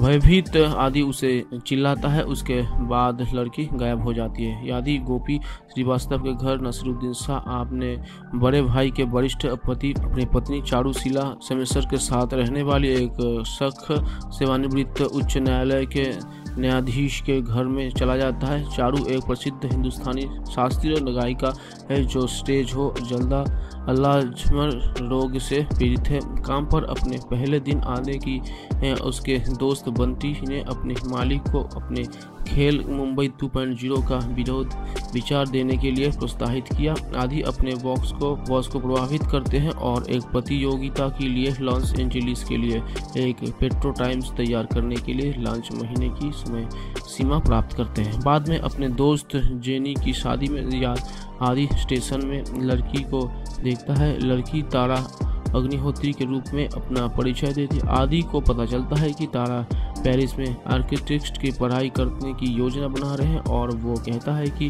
वो मार्क जुगरबर्ग की तरह एक बड़ा शॉट बनने का सपना देखता है। आदि और तारा ने विवाह संस्था की शीतलता के बारे में अपना वापदा धारणाओं को तोड़ दिया। तारा ने यह भी खुलासा किया कि रेलवे स्टेशन पर उसकी हरकत के पूर्व सीमा प्रेमी से छुटकारा पाने के एक चाल थी जो उससे शादी करना चाहता था। उसके बाद वे बाहर घूमते हैं, शहर की खोज करते हैं। अगले दिन आदि काम के सिलसिले में तारा को अहमदाबाद ले जाता है। तारा आदि को बसरमती आश्रम में ले जाती है, जहाँ वो बचपन में अपने पिता के साथ जाया करती है। वो खुलासा करती है कि उसके अभी शादी न करने का फैसला उसके माता पिता की टूटी शादी से उकसाया गया था। आदि और तारा अपने अपने करियर के लिए अलग अलग रास्ते जाने से पहले एक दूसरे के साथ रहने का फैसला करते दोनों अपनी इच्छा से गोपी और चारू के पास जाते हैं। गोपी शुरू में उनकी इच्छा से पूरी तरह असहमत है, लेकिन फिर जब तारा अपनी शास्त्रीय गायन क्षमता से चारू का प्रभावित करते हैं तो वो हार मानने की फैसला करते हैं। आदि का परिवार आदि को एक औचौर भेंट देने की योजना बनाते हैं और उसकी भाभी को पता चलता है कि वो तारा के साथ रह रही है, जिसका, उसका भाई दृढ़ता से विरोध करते, करेगा। वो तारा से उसके भविष्य के बारे में सोचने के लिए कहती है जब किसी समय तारा को अपने प्यार और अपने करियर के में से किसी एक को चुनना होगा, तारा और आदि खुशी से रहने हैं। अपने प्यार आपसी सगाई, सौदाई और बढ़ते आत्मीयता और लगाव के रोमांस प्राप्त करते हुए तारा की पेरिस स्थित संस्थान प्रवेश को मंजूरी मिल गई है। तारा गोपी को इस बारे में बताती है कि उसे विश्वास दिलाती है कि अब उसके लिए आदि को छोड़कर इतनी दूर जाना मुश्किल हो सकता है। अगले दिन तारा काम के सिलसिले में जयपुर जाती है और आदि से बहुत याद करने लगता है। तारा की संपन्न माँ आदि को कानपुर बुलाती है, जो अपनी बेटी के इरादों को जानना चाहती है। नतीजतः तारा जयपुर से लौटने पर यादी को लापता पाती है और उसे बुरी तरह से खोजती है। ये महसूस करती हुई कि उसकी बिना रहने हैं, वह खुद ही हो जाएँगी। तारा और आदि अपने जीवन में एक दूसरे को उपस्थिति के महत्व को समझने के लगते हैं। खासकर गोपी के अपनी बीमार पत्नी के लिए प्यार और दरियों की देखकर एक दिन वो लापता हो जाती है क्योंकि वो अपने घर का रास्ता भूल जाते हैं और तारा और आदि को भारी बारिश में एक मंदिर में मंच पर बैठ हुए मिलते हैं। तारा की माँ आदि के परिवार से शादी के बारे में बात करने के लिए जाती है। इससे तारा नाराज़ हो जाती है। बाद में दिन में आदि का खा खेल मुंबई 2.0 लॉस एंजलिस में प्रतियोगिता के लिए चुना जाता है, जिसका अर्थ है कि उस दुल्ह की संयुक्त राज्यों के लिए रवाना होना है। वो जेनी में विश्वास करता है इसके लिए तारा के पास जाता कठिन होगा। तारा की काफ़ी परेशान नरज आता है। अगले दिन आदि और तारा अगले दस दिनों के लिए पूरी तरह से आनंद लेने के लिए एक समझौता करते हैं, जिनके बाद अंतत अपने अलग रास्ते पर चले जाएँगे। एक दिन तारू फिर से लापता हो जाती है। उसकी ला तलाश करते हुए वे अपने रिश्ते के बारे में बताना चाहते शुरू कर देते हालाँकि चारू को खोजने और उसे अपने पति को घर वापस लाने के बाद आदि अंतत सारा को उनके गंतव्य के लिए जाने से पहले शादी का प्रस्ताव देता है। वे गोपी के घर में करीबी दोस्तों और परिवार के बीच शादी करते हैं। शादी के बाद दोनों अपने सपनों को पूरा करना जारी रखते हैं। एक पेरिस में और दूसरा लॉस एंजलिस में संपर्क में रहते हुए और दोनों दिन फिर से एक साथ होने का इंतज़ार करते हैं। एक अंत क्रेडिट का रोल उनके बाकी कहानी एनिमेशन में विभाग निभाता है, उनके साथ अंत में एक दिन एक साथ रहने देते हैं और एक परिवार शुरू करते हैं। फेगन, आदित्य रॉय कपूर आदित्य, आदि जुगल तारा के पति के रूप में तारा गुंगलाज अग्निहोत्री के रूप में श्रद्धा कपूर, मोना शोध सिटी के रूप में कुछ पंक्तियाँ, आदित्य की पत्नी असुद्दीन शाह, गोपी पगलू श्रीमान के रूप में लीला शाहरुख श्रीवास्तव के रूप में रवि जुंगल आदि के भाई के रूप में, विजयंकर कोहली आदि के मालिक के रूप में, प्रहलाद कक्कर सुरक्षा गार्ड के रूप में, पोलोराम दास फ़िल्म का स्कोर और sound track A R Rahman द्वारा रचित है जबकि गीत के बोल गुलजार द्वारा लिखे गए हैं। रहमान ने तीन गानों को छोड़कर ओ ओ कधल, कनमनी के तमिल साउंड ट्रैक से अपनी अधिकांश रचनाओं का पुनः उपयोग किया। उन्होंने फ़िल्म के लिए दो नए गीतों की रचना की है, जी, जे सिनेमा का और मला गर्ल कर्टन के हिंदी संरक्षक है जो तमिल संस्करण का हिस्सा है।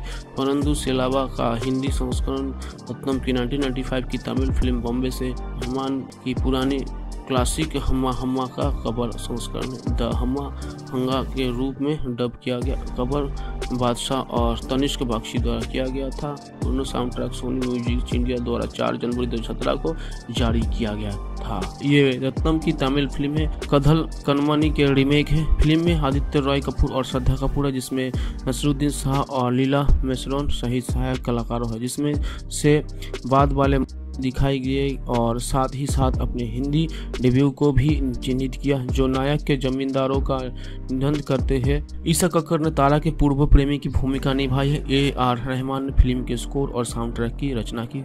गुलजार ने फ़िल्म के बोल और संवाद लिखे हैं। आदित्य आदि गुलजार आदित्य राय कपूर अपने बॉक्स प्रभात कक्कर से स्वामित्व वाली एक गेमिंग्स कंपनी के लिए काम करने के लिए मुंबई आते हैं। जो एक वीडियो गेम डिलीवर के रूप में संयुक्त राज्यों में इसे बड़ा बनाने की इच्छा रखते हैं। मुंबई में रेलवे स्टेशन पर एक लड़की श्रद्धा कपूर के बगल में प्लेटफॉर्म पर एक ट्रेन के सामने कूदने की कोशिश कर रहे हैं।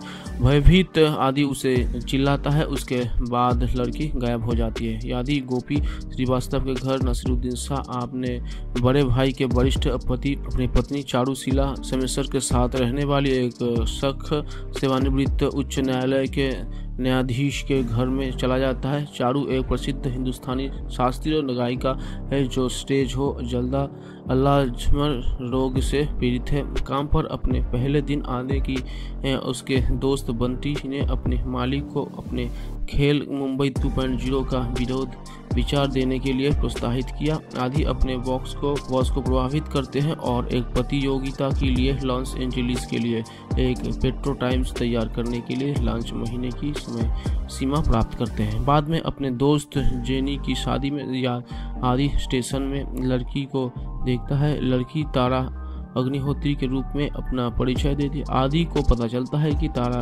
पेरिस में आर्किटेक्ट की पढ़ाई करने की योजना बना रहे हैं और वो कहता है कि वो मार्क जुगरबर्ग की तरह एक बड़ा शॉट बनने का सपना देखता है। आदि और तारा ने विवाह संस्था की शीतलता के बारे में अपना वापदा अधारणाओं को तोड़ दिया। तारा ने यह भी खुलासा किया कि रेलवे स्टेशन पर उसकी हरकत के पूर्व सीमा प्रेमी से छुटकारा पाने के एक चाल थी जो उससे शादी करना चाहता था। उसके बाद वे बाहर घूमते हैं, शहर की खोज करते हैं। अगले दिन आदि काम के सिलसिले में तारा को अहमदाबाद ले जाता है। तारा आदि को बस बसरमती आश्रम में ले जाती है, जहाँ वो बचपन में अपने पिता के साथ जाया करती है। वो खुलासा करती है कि उसके अभी शादी न करने का फैसला उसके माता पिता की टूटी शादी से उकसाया गया था। आदि और तारा अपने अपने करियर के लिए अलग अलग रास्ते जाने से पहले एक दूसरे के साथ रहने का फैसला करते दोनों अपनी इच्छा से गोपी और चारू के पास जाते हैं। गोपी शुरू में उनकी इच्छा से पूरी तरह असहमत है, लेकिन फिर जब तारा अपनी शास्त्रीय गायन क्षमता से चारू का प्रभावित करते हैं तो वो हार मानने की फैसला करते हैं। आदि का परिवार आदि को एक औचौर भेंट देने की योजना बनाते हैं और उसकी भाभी को पता चलता है कि वो तारा के साथ रह रही है, जिसका, उसका भाई दृढ़ता से विरोध करते करेगा। वो तारा से उसके भविष्य के बारे में सोचने के लिए कहती है, जब किसी समय तारा को अपने प्यार और अपने करियर के में से किसी एक को चुनना होगा, तारा और आदि खुशी से रहने हैं। अपने प्यार आपसी सगाई, सौदाई और बढ़ते आत्मीयता और लगाव के रोमांस प्राप्त करते हुए तारा की पेरिस स्थित संस्थान में प्रवेश को मंजूरी मिल गई है। तारा गोपी को इस बारे में बताती है कि उसे विश्वास दिलाती है कि अब उसके लिए आदि को छोड़कर इतनी दूर जाना मुश्किल हो सकता है। अगले दिन तारा काम के सिलसिले में जयपुर जाती है और आदि से बहुत याद करने लगता है। तारा की संपन्न माँ आदि को कानपुर बुलाती है, जो अपनी बेटी के इरादों को जानना चाहती है। नतीजतः तारा जयपुर से लौटने पर यादी को लापता पाती है और उसे बुरी तरह से खोजती है। ये महसूस करती हुई कि उसकी बिना रहने हैं, वह खुद ही हो जाएँगी। तारा और यादी अपने जीवन में एक दूसरे को उपस्थिति के महत्व को समझने के लगते हैं। खासकर गोपी के अपनी बीमार पत्नी के लिए प्यार और धैर्य की देखकर एक दिन वो लापता हो जाती है क्योंकि वो अपने घर का रास्ता भूल जाते हैं और तारा और आदि को भारी बारिश में एक मंदिर में मंच पर बैठ हुए मिलते हैं। तारा की माँ आदि के परिवार से शादी के बारे में बात करने के लिए जाती है। इससे तारा नाराज़ हो जाती है। बाद में दिन में आदि का खा, खेल मुंबई 2.0 लॉस एंजलिस में प्रतियोगिता के लिए चुना जाता है, जिसका अर्थ है कि उस दुल्ह की संयुक्त राज्यों के लिए रवाना होना है। वो जेनी में विश्वास करता है, जिसके लिए तारा के पास जाता कठिन होगा। तारा की काफ़ी परेशान नज़र आता है अगले दिन आदि, और तारा अगले दस दिनों के लिए पूरी तरह से आनंद लेने के लिए एक समझौता करते हैं, जिनके बाद अंतत अपने अलग रास्ते पर चले जाएँगे। एक दिन चारू फिर से लापता हो जाती है।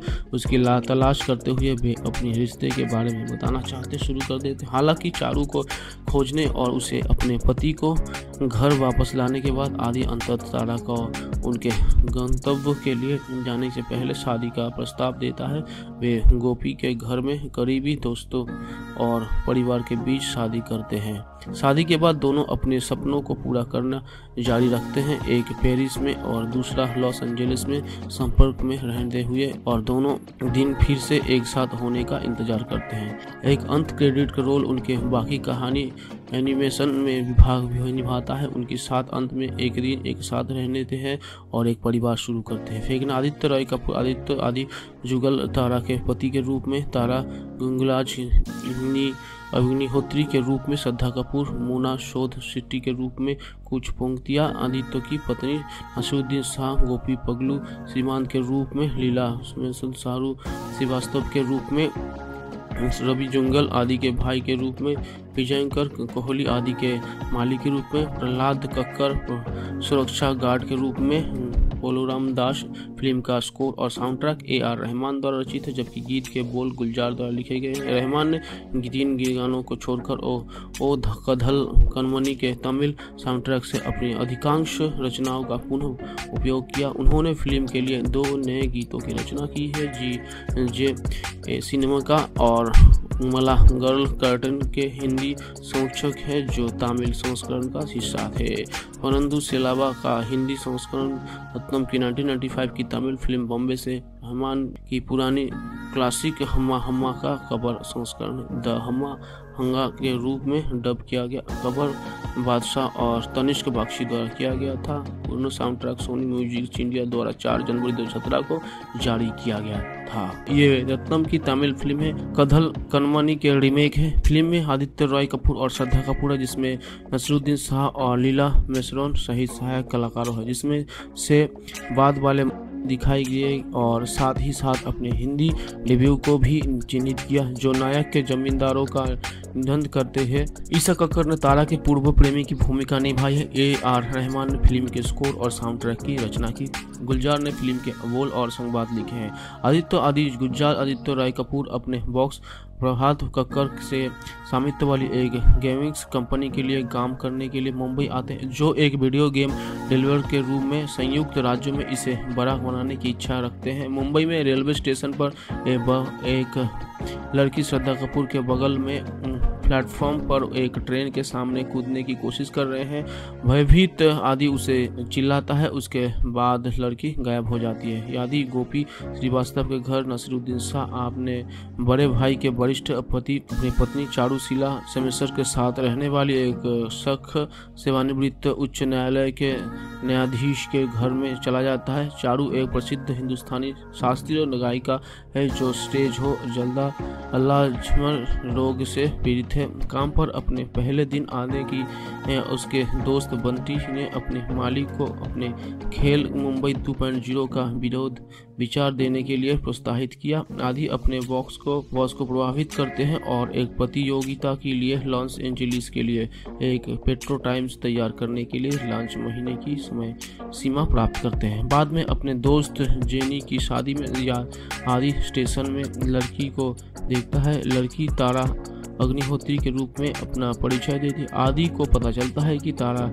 पेरिस में आर्किटेक्ट की पढ़ाई करने की योजना बना रहे हैं और वो कहता है कि वो मार्क जुगरबर्ग की तरह एक बड़ा शॉट बनने का सपना देखता है। आदि और तारा ने विवाह संस्था की शीतलता के बारे में अपना वास्तवता अधारणाओं को तोड़ दिया। तारा ने यह भी खुलासा किया कि रेलवे स्टेशन पर उसकी हरकत के पूर्व सीमा प्रेमी से छुटकारा पाने के एक चाल थी जो उससे शादी करना चाहता था। उसके बाद वे बाहर घूमते हैं, शहर की खोज करते हैं। अगले दिन आदि काम के सिलसिले में तारा को अहमदाबाद ले जाता है तारा आदि को।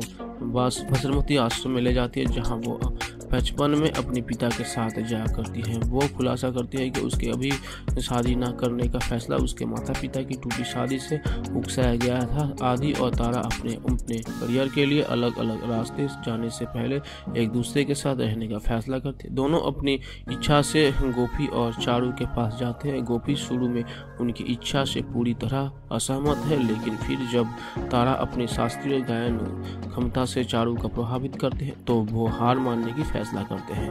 आदि का परिवार आदि को एक औचौर भेंट देने की योजना बनाते हैं और उसकी भाभी को पता चलता है कि वो तारा के साथ रह रही है, जिसका उसका भाई दृढ़ता से विरोध करते करेगा। वो तारा से उसके भविष्य के बारे में सोचने के लिए कहती है। जब किसी समय तारा को अपने प्यार और अपने करियर के में से किसी एक को चुनना होगा। तारा और आदि खुशी से रहने हैं। अपने प्यार आपसी सगाई, सदाई और बढ़ते आत्मीयता और लगाव के रोमांस प्राप्त करते हुए तारा की पेरिस स्थित संस्थान प्रवेश को मंजूरी मिल गई है। तारा गोपी को इस बारे में बताती है कि उसे विश्वास दिलाती है कि अब उसके लिए आदि को छोड़कर इतनी दूर जाना मुश्किल हो सकता है।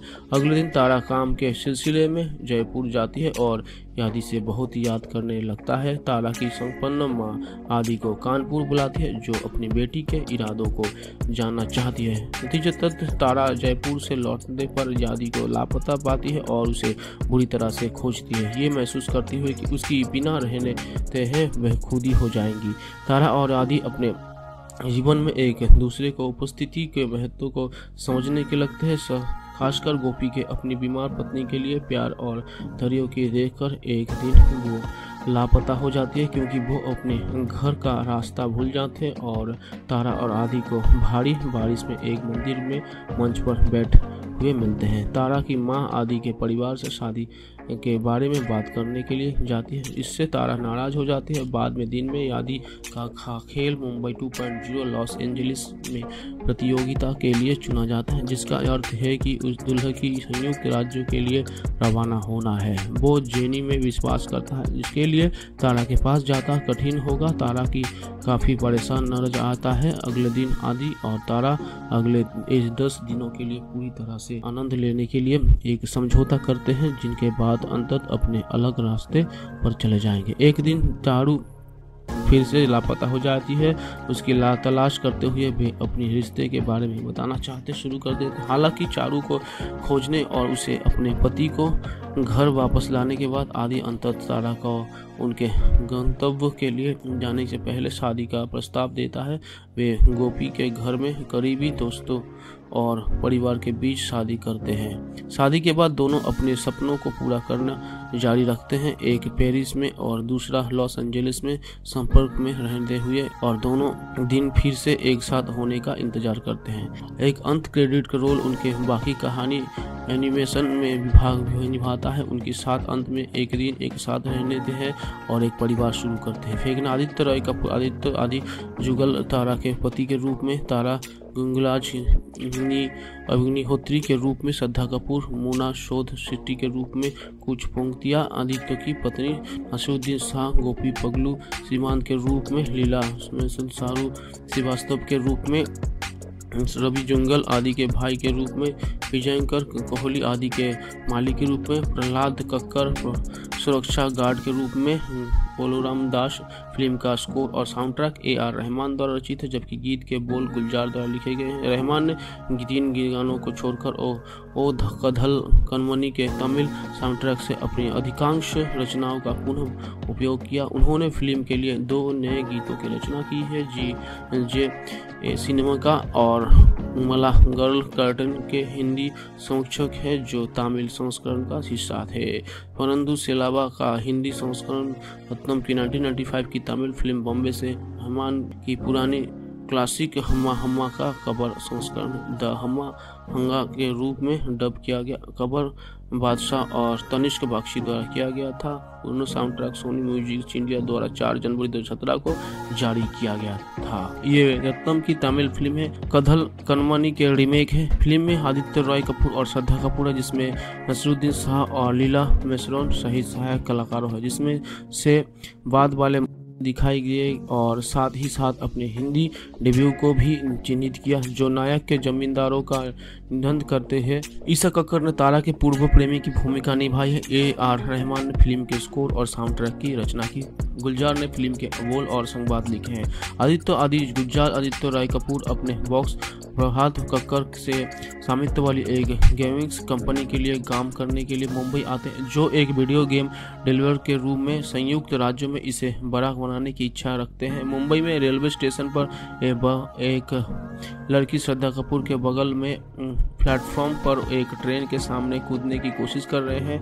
भयभीत आदि उसे चिल्लाता है। उसके बाद लड़की गायब हो जाती है। यादि, गोपी श्रीवास्तव के घर, नसरुद्दीन शाह, आपने बड़े भाई के वरिष्ठ पति, अपनी पत्नी चारूशीला समेसर के साथ रहने वाली एक सख सेवानिवृत्त उच्च न्यायालय के न्यायाधीश के घर में चला जाता है। चारू एक प्रसिद्ध हिंदुस्तानी शास्त्रीय गायिका है जो स्टेज हो, जल्दा अल्लाजमर रोग से पीड़ित है। काम पर अपने पहले दिन आने की उसके दोस्त बंटी ने अपने मालिक को अपने खेल मुंबई 2.0 का विरोध विचार देने के लिए प्रोत्साहित किया। आदि अपने बॉक्स को बॉस को प्रभावित करते हैं और एक प्रतियोगिता के लिए लॉन्स एंजलिस के लिए एक पेट्रो टाइम्स तैयार करने के लिए लॉन्च महीने की समय सीमा प्राप्त करते हैं। बाद में अपने दोस्त जेनी की शादी में या आदि स्टेशन में लड़की को देखता है। लड़की तारा अग्निहोत्री के रूप में अपना परिचय देती आदि को पता चलता है कि तारा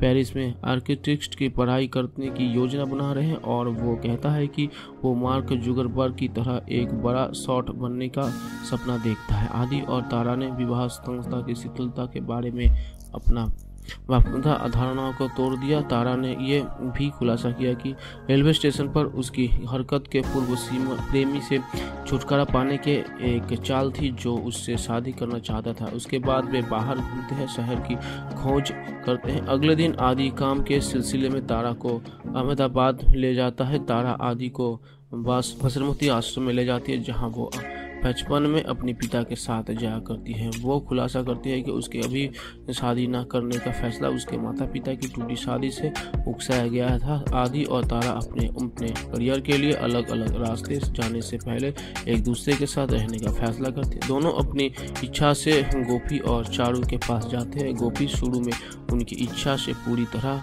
असहमत है, लेकिन फिर जब तारा अपने शास्त्रीय गायन क्षमता से चारू का प्रभावित करते हैं तो वो हार मानने की फैसला करते हैं। आदि का परिवार आदि को एक औचौर भेंट देने की योजना बनाते हैं और उसकी भाभी को पता चलता है कि वो तारा के साथ रह रही है, जिसका उसका भाई दृढ़ता से विरोध करते करेगा। वो तारा से उसके भविष्य के बारे में सोचने के लिए कहती है, जब किसी समय तारा को अपने प्यार और अपने करियर के में से किसी एक को चुनना होगा, तारा और आदि खुशी से रहने हैं। अपने प्यार आपसी सगाई सौदाई और बढ़ते आत्मीयता और लगाव के रोमांस प्राप्त करते हुए तारा की पेरिस स्थित संस्थान प्रवेश को मंजूरी मिल गई है। तारा गोपी को इस बारे में बताती है कि उसे विश्वास दिलाती है कि अब उसके लिए आदि को छोड़कर इतनी दूर जाना मुश्किल हो सकता है।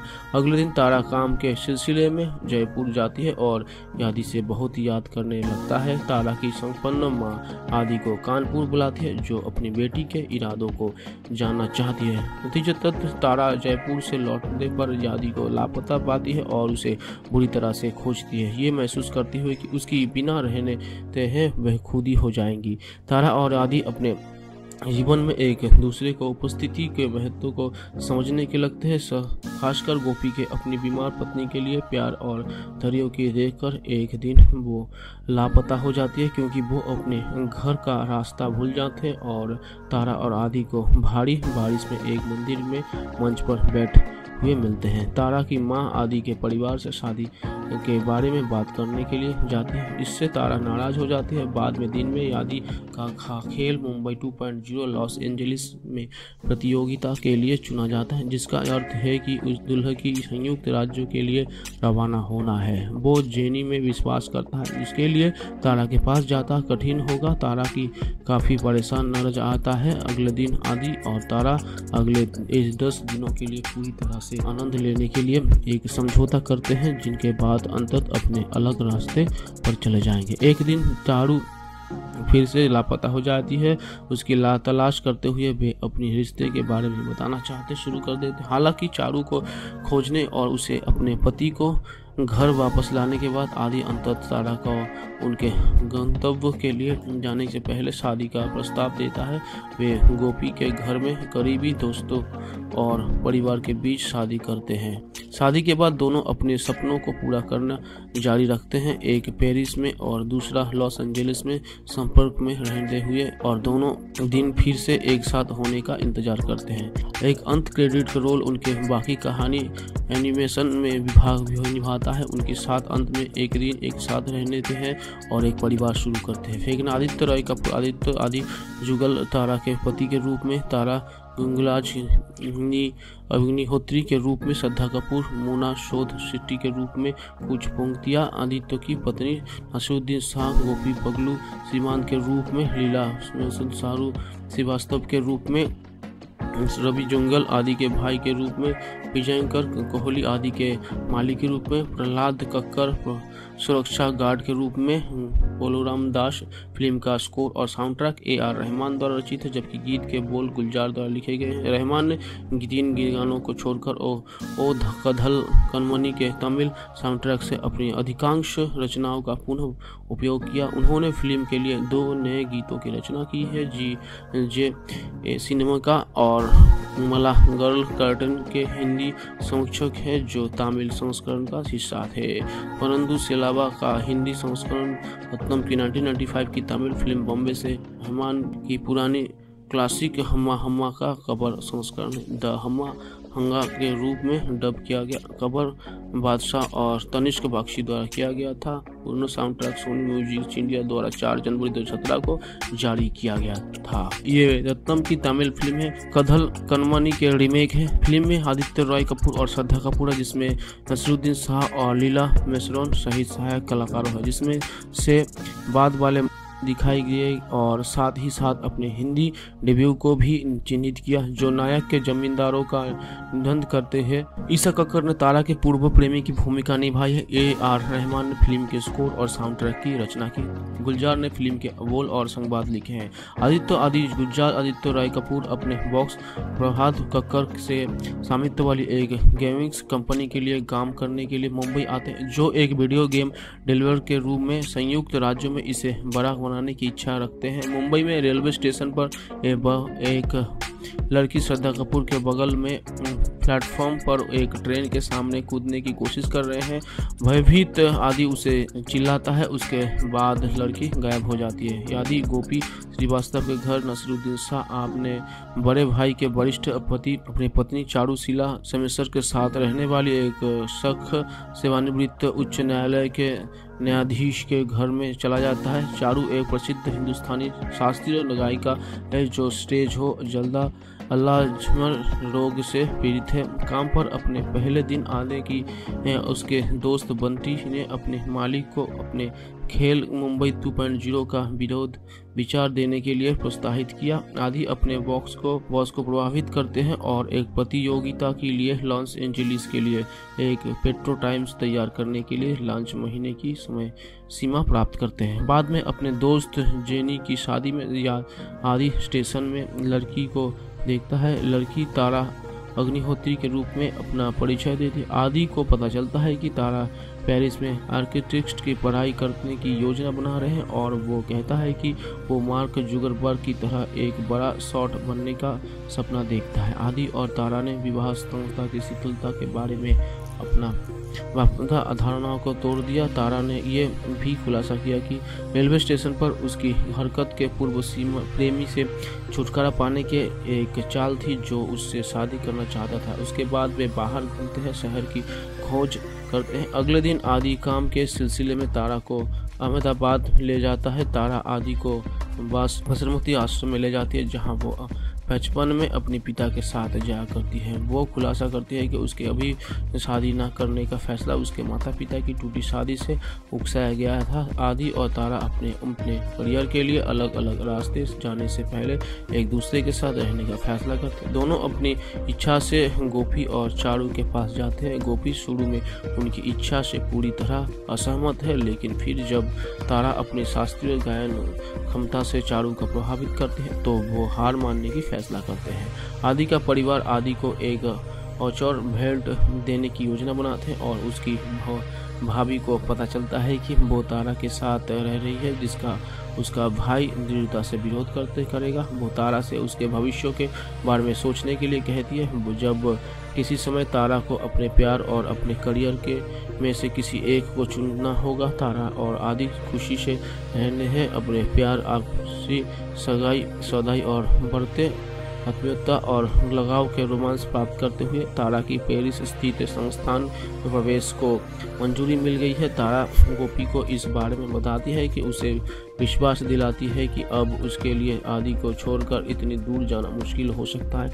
अगले दिन तारा काम के सिलसिले में जयपुर जाती है और आदि से बहुत याद करने लगता है। तारा की संपन्न माँ आदि को कानपुर बुलाती है, जो अपनी बेटी के इरादों को जानना चाहती है। नतीजतः तारा जयपुर से लौटने पर आदि को लापता पाती है और उसे बुरी तरह से खोजती है। ये महसूस करती हुई कि उसकी बिना रहने हैं, वह खुद ही हो जाएँगी। तारा और आदि अपने जीवन में एक दूसरे को उपस्थिति के महत्व को समझने के लगते हैं। खासकर गोपी के अपनी बीमार पत्नी के लिए प्यार और धैर्य की देखकर एक दिन वो लापता हो जाती है क्योंकि वो अपने घर का रास्ता भूल जाते हैं और तारा और आदि को भारी बारिश में एक मंदिर में मंच पर बैठ हुए मिलते हैं। तारा की माँ आदि के परिवार से शादी के बारे में बात करने के लिए जाती है। इससे तारा नाराज़ हो जाती है। बाद में दिन में यादी का खेल मुंबई 2.0 लॉस एंजलिस में प्रतियोगिता के लिए चुना जाता है, जिसका अर्थ है कि उस दुल्ह की संयुक्त राज्यों के लिए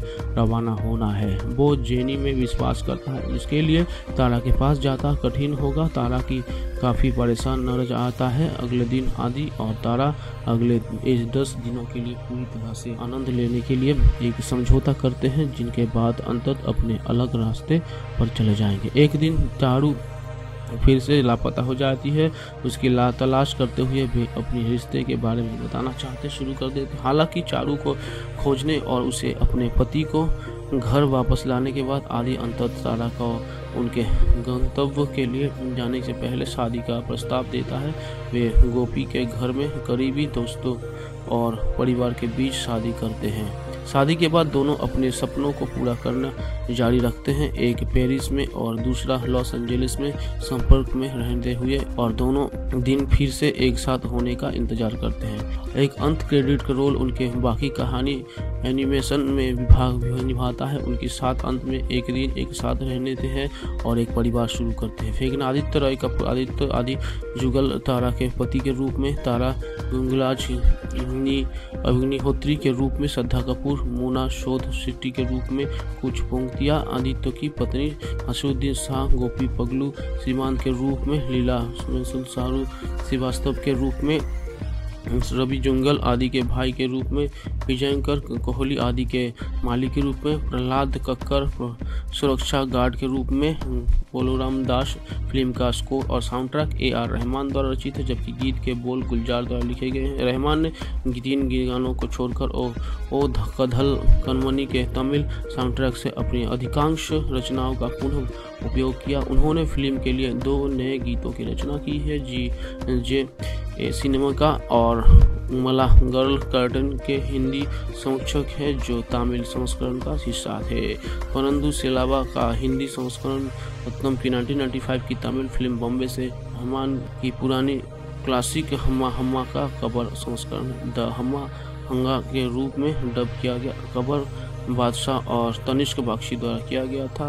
दोनों sound track Sony music India द्वारा 4 जनवरी दो को जारी किया गया था। ये रत्नम की तमिल फ़िल्म है। कधल कनवानी के रीमेक है। फ़िल्म में आदित्य रॉय कपूर और श्रद्धा कपूर है, जिसमें नसरुद्दीन शाह और लीला मेसरोन सहित सहायक कलाकारों है, जिसमें से बाद वाले दिखाई गए और साथ ही साथ अपने हिंदी डेब्यू को भी चिन्हित किया, जो नायक के जमींदारों का निधन करते हैं। ईसा कक्कर ने तारा के पूर्व प्रेमी की भूमिका निभाई है। ए आर रहमान ने फ़िल्म के स्कोर और साउंड ट्रैक की रचना की।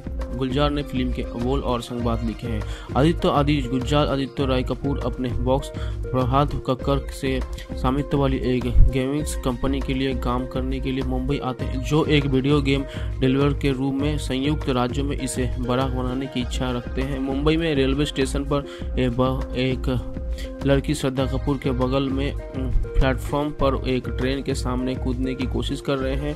भयभीत आदि उसे चिल्लाता है, उसके बाद लड़की गायब हो जाती है। यादि, गोपी, श्रीवास्तव के घर, नसरुद्दीन शाह, आपने बड़े भाई के वरिष्ठ पति, अपनी पत्नी चारूशीला समेसर के साथ रहने वाली एक सख सेवानिवृत्त उच्च न्यायालय के न्यायाधीश के घर में चला जाता है। चारू एक प्रसिद्ध हिंदुस्तानी शास्त्रीय गायिका है, जो स्टेज हो, जल्दा अल्लाजमर रोग से पीड़ित है। काम पर अपने पहले दिन आने की उसके दोस्त बंटी ने अपने मालिक को अपने खेल मुंबई 2.0 का विरोध, विचार देने के लिए प्रोत्साहित किया। आदि अपने बॉक्स को, बॉस को प्रभावित करते हैं और एक प्रतियोगिता के लिए लॉस एंजलिस के लिए एक पेट्रो टाइम्स तैयार करने के लिए लॉन्च महीने की समय सीमा प्राप्त करते हैं। बाद में अपने दोस्त जेनी की शादी में या आदि स्टेशन में लड़की को देखता है। लड़की तारा अग्निहोत्री के रूप में अपना परिचय देती आदि को पता चलता है कि तारा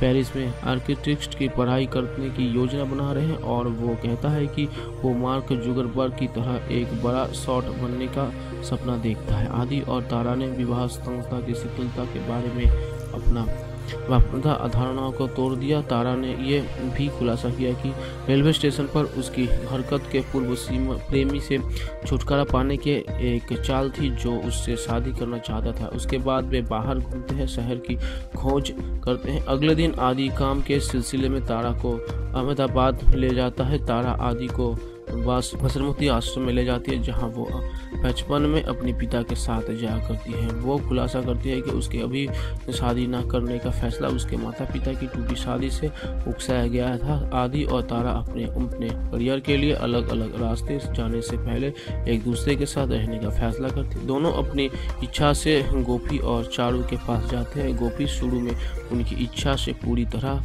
असहमत है, लेकिन फिर जब तारा अपने शास्त्रीय गायन क्षमता से चारू का प्रभावित करते हैं तो वो हार मानने की फैसला करते हैं। आदि का परिवार आदि को एक औचौर भेंट देने की योजना बनाते हैं और उसकी भाभी को पता चलता है कि वो तारा के साथ रह रही है, जिसका उसका भाई दृढ़ता से विरोध करते करेगा। वो तारा से उसके भविष्य के बारे में सोचने के लिए कहती है, जब किसी समय तारा को अपने प्यार और अपने करियर के में से किसी एक को चुनना होगा, तारा और आदि खुशी से रहने हैं। अपने प्यार, आपसी सगाई, सौदाई और बढ़ते आत्मीयता और लगाव के रोमांस प्राप्त करते हुए तारा की पेरिस स्थित संस्थान प्रवेश को मंजूरी मिल गई है। तारा गोपी को इस बारे में बताती है कि उसे विश्वास दिलाती है कि अब उसके लिए आदि को छोड़कर इतनी दूर जाना मुश्किल हो सकता है। अगले दिन तारा काम के सिलसिले में जयपुर जाती है और आदि से बहुत याद करने लगता है। तारा की संपन्न माँ आदि को कानपुर बुलाती है, जो अपनी बेटी के इरादों को जानना चाहती है। नतीजतः तारा जयपुर से लौटने पर यादी को लापता पाती है और उसे बुरी तरह से खोजती है। ये महसूस करती हुई कि उसकी बिना रहने हैं, वह खुद ही हो जाएँगी। तारा और आदि अपने जीवन में एक दूसरे को उपस्थिति के महत्व को समझने के लगते हैं।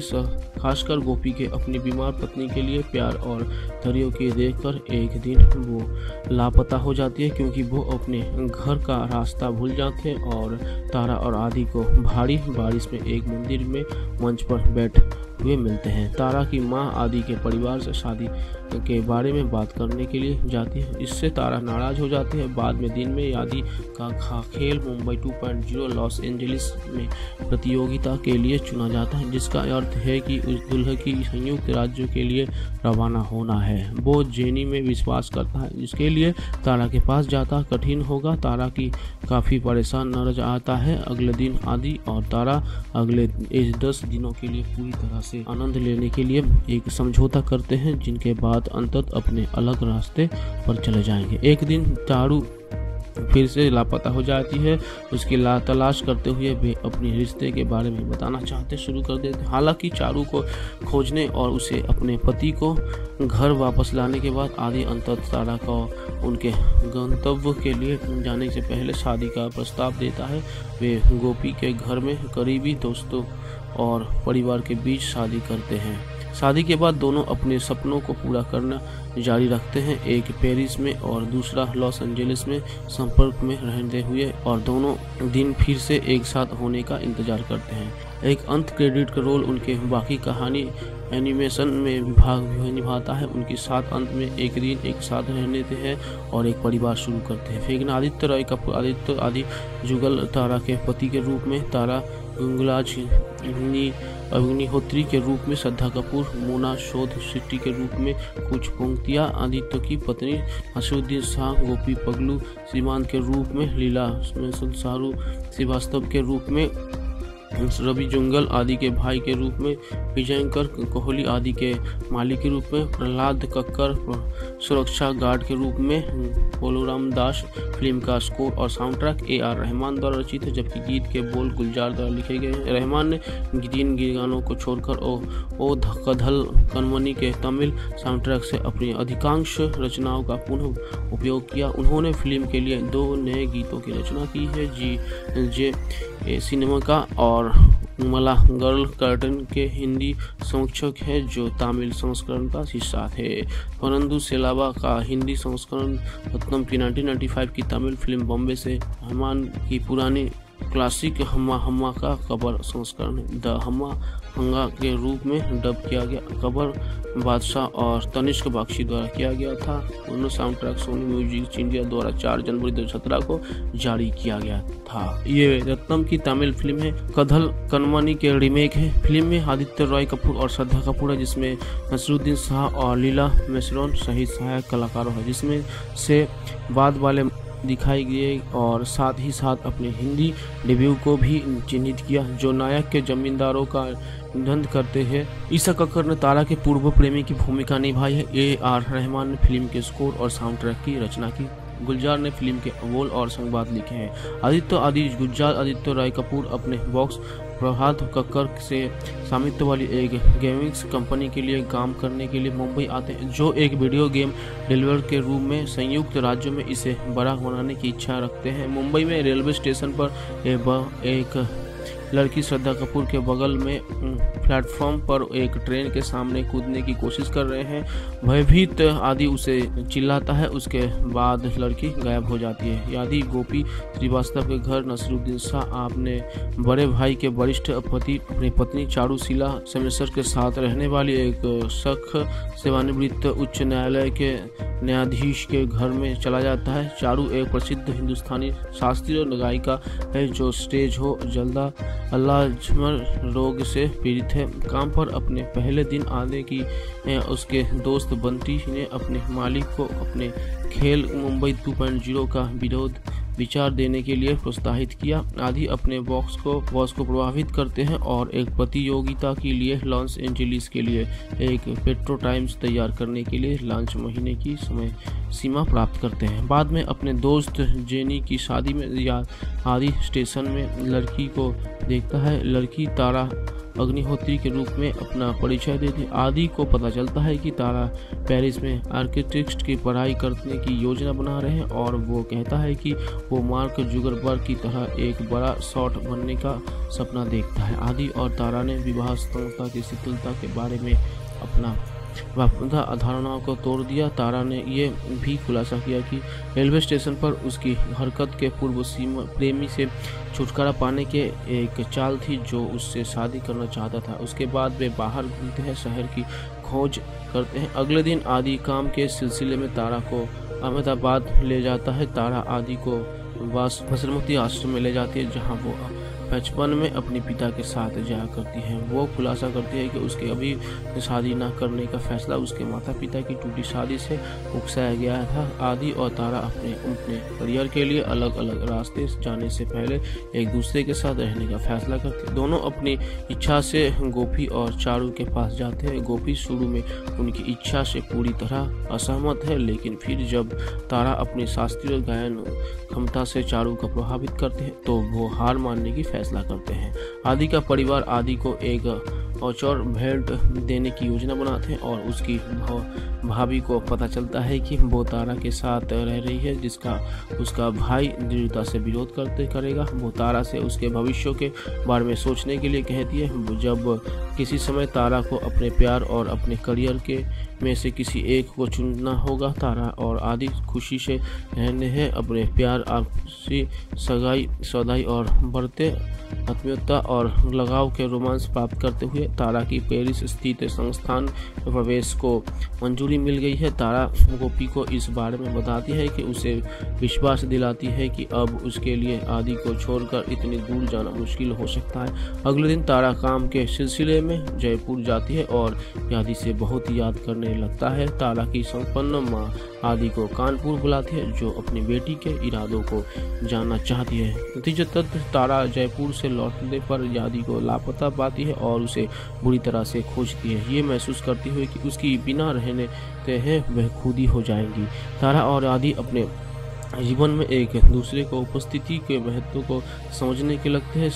खासकर गोपी के अपनी बीमार पत्नी के लिए प्यार और धैर्य की देखकर एक दिन वो लापता हो जाती है क्योंकि वो अपने घर का रास्ता भूल जाते हैं और तारा और आदि को भारी बारिश में एक मंदिर में मंच पर बैठ हुए मिलते हैं। तारा की माँ आदि के परिवार से शादी के बारे में बात करने के लिए जाते हैं। इससे तारा नाराज़ हो जाती है। बाद में दिन में यादी का खा खेल मुंबई 2.0 लॉस एंजलिस में प्रतियोगिता के लिए चुना जाता है, जिसका अर्थ है कि उस दुल्हन की संयुक्त राज्यों के लिए रवाना होना है। वो जेनी में विश्वास करता है। उसके लिए तारा के पास जाता कठिन होगा। तारा की काफ़ी परेशान नज़र आता है। अगले दिन आदि और तारा अगले दस दिनों के लिए पूरी तरह से आनंद लेने के लिए एक समझौता करते हैं, जिनके बाद अंतत अपने अलग रास्ते पर चले जाएँगे। एक दिन चारू फिर से लापता हो जाती है।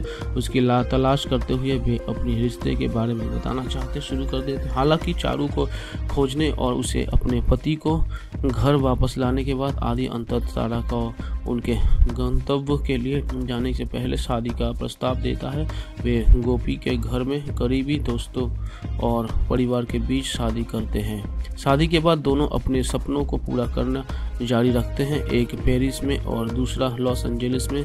संपर्क में रहते हुए और दोनों दिन फिर से एक साथ होने का इंतज़ार करते हैं। एक अंत क्रेडिट का रोल उनके बाकी कहानी एनिमेशन में विभाग भी निभाता है। उनके साथ अंत में एक दिन एक साथ रहने हैं और एक परिवार शुरू करते हैं। लेकिन आदित्य रॉय का आदित्य आदि जुगल तारा के पति के रूप में तारा गुंगलाज अग्निहोत्री के रूप में श्रद्धा कपूर, मोना शोध सिटी के रूप में कुछ पंक्तियाँ, आदित्य की पत्नी असुद्दीन शाह, गोपी पगलू सीमांत के रूप में लीला शाहरू श्रीवास्तव के रूप में रवि जुंगल आदि के भाई के रूप में विजयकर कोहली आदि के मालिक के रूप में प्रहलाद कक्कर, सुरक्षा गार्ड के रूप में पोलोराम दास फ़िल्म का स्कोर और sound track A R Rahman द्वारा रचित है, जबकि गीत के बोल गुलजार द्वारा लिखे गए हैं। रहमान ने तीन गानों को छोड़कर ओ ओ कधल कनमनी के तमिल साउंड ट्रैक से अपनी अधिकांश रचनाओं का पुनः उपयोग किया। उन्होंने फ़िल्म के लिए दो नए गीतों की रचना की है, जी, जे, ए, सिनेमा का और मला गर्ल कर्टन के हिंदी संरक्षक है, जो तमिल संस्करण का हिस्सा थे। परंतु सेलावा का हिंदी संस्करण रत्नम की 1995 की तमिल फ़िल्म बॉम्बे से रहमान की पुरानी क्लासिक हम्मा हम्मा का कबर संस्करण, द हम्मा हंगा के रूप में डब किया गया। कबर बादशाह और तनिष्क बख्शी द्वारा किया गया था। दोनों sound track Sony music India द्वारा 4 जनवरी दो को जारी किया गया था। ये रत्नम की तमिल फ़िल्म है। कधल कनमनी के रीमेक है। फ़िल्म में आदित्य रॉय कपूर और श्रद्धा कपूर है, जिसमें नसरुद्दीन शाह और लीला मेसरोन सहित सहायक कलाकारों है, जिसमें से बाद वाले दिखाई गई और साथ ही साथ अपने हिंदी डेब्यू को भी चिन्हित किया, जो नायक के जमींदारों का निधन करते हैं। ईसा कक्कर ने तारा के पूर्व प्रेमी की भूमिका निभाई है। ए आर रहमान ने फ़िल्म के स्कोर और साउंड ट्रैक की रचना की। गुलजार ने फ़िल्म के अवोल और संवाद लिखे हैं।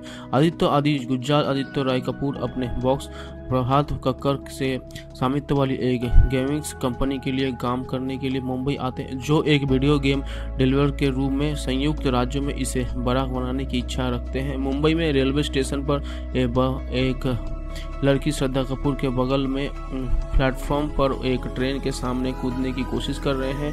भयभीत आदि उसे चिल्लाता है, उसके बाद लड़की गायब हो जाती है। यादि, गोपी श्रीवास्तव के घर, नसरुद्दीन शाह, आपने बड़े भाई के वरिष्ठ पति, अपनी पत्नी चारूशीला समेसर के साथ रहने वाली एक सख सेवानिवृत्त उच्च न्यायालय के न्यायाधीश के घर में चला जाता है। चारू एक प्रसिद्ध हिंदुस्तानी शास्त्रीय गायिका है, जो स्टेज हो, जल्दा अल्लाजमर रोग से पीड़ित है। काम पर अपने पहले दिन आने की उसके दोस्त बंटी ने अपने मालिक को अपने खेल मुंबई 2.0 का विरोध, विचार देने के लिए प्रोत्साहित किया। आदि अपने बॉक्स को, बॉस को प्रभावित करते हैं और एक प्रतियोगिता के लिए लॉन्च एंजलिस के लिए एक पेट्रो टाइम्स तैयार करने के लिए लॉन्च महीने की समय सीमा प्राप्त करते हैं। बाद में अपने दोस्त जेनी की शादी में या आदि स्टेशन में लड़की को देखता है, लड़की तारा अग्निहोत्री के रूप में अपना परिचय देती, आदि को पता चलता है कि तारा पेरिस में आर्किटेक्ट की पढ़ाई करने की योजना बना रहे हैं और वो कहता है कि वो मार्क जुगरबर्ग की तरह एक बड़ा शॉट बनने का सपना देखता है। आदि और तारा ने विवाह संस्था की शिथिलता के बारे में अपना धारणाओं को तोड़ दिया। तारा ने ये भी खुलासा किया कि रेलवे स्टेशन पर उसकी हरकत के पूर्व सीमा प्रेमी से छुटकारा पाने के एक चाल थी जो उससे शादी करना चाहता था। उसके बाद वे बाहर घूमते हैं, शहर की खोज करते हैं। अगले दिन आदि काम के सिलसिले में तारा को अहमदाबाद ले जाता है। तारा आदि को बस बसरमती आश्रम में ले जाती है, जहाँ वो बचपन में अपने पिता के साथ जाया करती है। वो खुलासा करती है कि उसके अभी शादी न करने का फैसला उसके माता पिता की टूटी शादी से उकसाया गया था। आदि और तारा अपने अपने करियर के लिए अलग अलग रास्ते जाने से पहले एक दूसरे के साथ रहने का फैसला करते दोनों अपनी इच्छा से गोपी और चारू के पास जाते हैं। गोपी शुरू में उनकी इच्छा से पूरी तरह असहमत है, लेकिन फिर जब तारा अपने शास्त्रीय गायन क्षमता से चारू का प्रभावित करते हैं तो वो हार मानने की फैसला करते हैं। आदि का परिवार आदि को एक औचौर भेंट देने की योजना बनाते हैं और उसकी भाभी को पता चलता है कि वो तारा के साथ रह रही है, जिसका उसका भाई दृढ़ता से विरोध करते करेगा। वो तारा से उसके भविष्य के बारे में सोचने के लिए कहती है, जब किसी समय तारा को अपने प्यार और अपने करियर के में से किसी एक को चुनना होगा, तारा और आदि खुशी से रहने हैं। अपने प्यार, आपसी सगाई, सौदाई और बढ़ते आत्मीयता और लगाव के रोमांस प्राप्त करते हुए तारा की पेरिस स्थित संस्थान प्रवेश को मंजूरी मिल गई है। तारा गोपी को इस बारे में बताती है कि उसे विश्वास दिलाती है कि अब उसके लिए आदि को छोड़कर इतनी दूर जाना मुश्किल हो सकता है। अगले दिन तारा काम के सिलसिले में जयपुर जाती है और आदि से बहुत याद करने लगता है। तारा की संपन्न माँ आदि को कानपुर बुलाती है, जो अपनी बेटी के इरादों को जानना चाहती है। नतीजतः तारा जयपुर से लौटने पर यादी को लापता पाती है और उसे बुरी तरह से खोजती है। ये महसूस करती हुई कि उसकी बिना रहने ते हैं, वह खुद हो जाएँगी। तारा और आदि अपने जीवन में एक दूसरे को उपस्थिति के महत्व को समझने के लगते हैं खासकर गोपी के अपनी बीमार पत्नी के लिए प्यार और धैर्य की देखकर एक दिन वो लापता हो जाती है क्योंकि वो अपने घर का रास्ता भूल जाते हैं और तारा और आदि को भारी बारिश में एक मंदिर में मंच पर बैठ हुए मिलते हैं। तारा की माँ आदि के परिवार से शादी के बारे में बात करने के लिए जाती है। इससे तारा नाराज़ हो जाती है। बाद में दिन में यादी का खेल मुंबई 2.0 लॉस एंजलिस में प्रतियोगिता के लिए चुना जाता है, जिसका अर्थ है कि उस दुल्हन की संयुक्त राज्यों के लिए रवाना होना है। वो जेनी में विश्वास करता है, जिसके लिए तारा के पास जाता कठिन होगा। तारा की काफ़ी परेशान नज़र आता है अगले दिन आदि, और तारा अगले दस दिनों के लिए पूरी तरह से आनंद लेने के लिए एक समझौता करते हैं, जिनके बाद अंतत अपने अलग रास्ते पर चले जाएँगे। एक दिन तारू फिर से लापता हो जाती है। उसकी ला तलाश करते हुए वे अपने रिश्ते के बारे में बताना चाहते शुरू कर देते हालाँकि चारू को खोजने और उसे अपने पति को घर वापस लाने के बाद आदि अंत तारा को उनके गंतव्य के लिए जाने से पहले शादी का प्रस्ताव देता है। वे गोपी के घर में करीबी दोस्तों और परिवार के बीच शादी करते हैं। शादी के बाद दोनों अपने सपनों को पूरा करना जारी रखते हैं। एक पेरिस में और दूसरा लॉस एंजलिस में संपर्क में रहते हुए और दोनों दिन फिर से एक साथ होने का इंतज़ार करते हैं। एक अंत क्रेडिट का रोल उनके बाकी कहानी एनिमेशन में विभाग भी निभाता है। उनके साथ अंत में एक दिन एक साथ रह लेते हैं और एक परिवार शुरू करते हैं। फेगन आदित्य रॉय कपूर आदित्य आदि जुगल तारा के पति के रूप में तारा गुंगलाज अग्निहोत्री के रूप में श्रद्धा कपूर, मोना शोध सिटी के रूप में कुछ पंक्तियाँ, आदित्य की पत्नी हसुद्दीन शाह, गोपी पगलू, श्रीमान के रूप में लीला शाहरुख श्रीवास्तव के रूप में रवि जुंगल आदि के भाई के रूप में, विजयंकर कोहली आदि के मालिक के रूप में, प्रहलाद कक्कर सुरक्षा गार्ड के रूप में पोलोराम दास फ़िल्म का स्कोर और sound track A R Rahman द्वारा रचित है जबकि गीत के बोल गुलजार द्वारा लिखे गए हैं। रहमान ने तीन गानों को छोड़कर ओ ओ धकधल कनमनी के तमिल साउंड ट्रैक से अपनी अधिकांश रचनाओं का पुनः उपयोग किया। उन्होंने फ़िल्म के लिए दो नए गीतों की रचना की है, जी, जे सिनेमा का और मला गर्ल कर्टन के हिंदी संरक्षक है जो तमिल संस्करण का हिस्सा थे।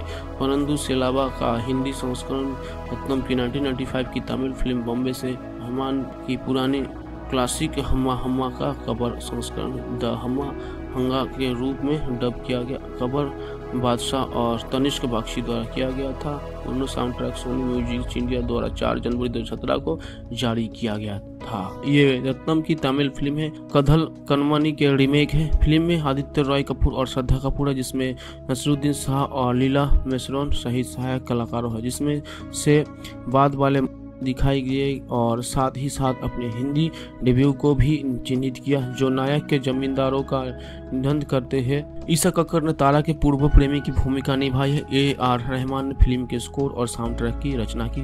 गुलजार ने फ़िल्म के अवोल और संवाद लिखे हैं। आदित्य आदि गुलजार आदित्य राय कपूर अपने बॉक्स प्रभात कक्कर से स्वामित्व वाली एक गेमिंग्स कंपनी के लिए काम करने के लिए मुंबई आते हैं। जो एक वीडियो गेम डिलीवर के रूप में संयुक्त राज्यों में इसे बड़ा बनाने की इच्छा रखते हैं। मुंबई में रेलवे स्टेशन पर एक लड़की श्रद्धा कपूर के बगल में प्लेटफॉर्म पर एक ट्रेन के सामने कूदने की कोशिश कर रहे हैं। भयभीत आदि उसे चिल्लाता है, उसके बाद लड़की गायब हो जाती है। यादि, गोपी श्रीवास्तव के घर, नसरुद्दीन शाह, आपने बड़े भाई के वरिष्ठ पति, अपनी पत्नी चारूशिला सेमेसर के साथ रहने वाली एक सख, सेवानिवृत्त उच्च न्यायालय के न्यायाधीश के घर में चला जाता है। चारू एक प्रसिद्ध हिंदुस्तानी शास्त्रीय गायिका है, जो स्टेज हो, जल्दा अल्लाजमर रोग से पीड़ित है। काम पर अपने पहले दिन आने की उसके दोस्त बंटी ने अपने मालिक को अपने खेल मुंबई 2.0 का विरोध विचार देने के लिए प्रोत्साहित किया। आदि अपने बॉक्स को बॉस को प्रभावित करते हैं और एक प्रतियोगिता के लिए लॉन्च एंजलिस के लिए एक पेट्रो टाइम्स तैयार करने के लिए लॉन्च महीने की समय सीमा प्राप्त करते हैं। बाद में अपने दोस्त जेनी की शादी में या आदि स्टेशन में लड़की को देखता है। लड़की तारा अग्निहोत्री के रूप में अपना परिचय देती आदि को पता चलता है कि तारा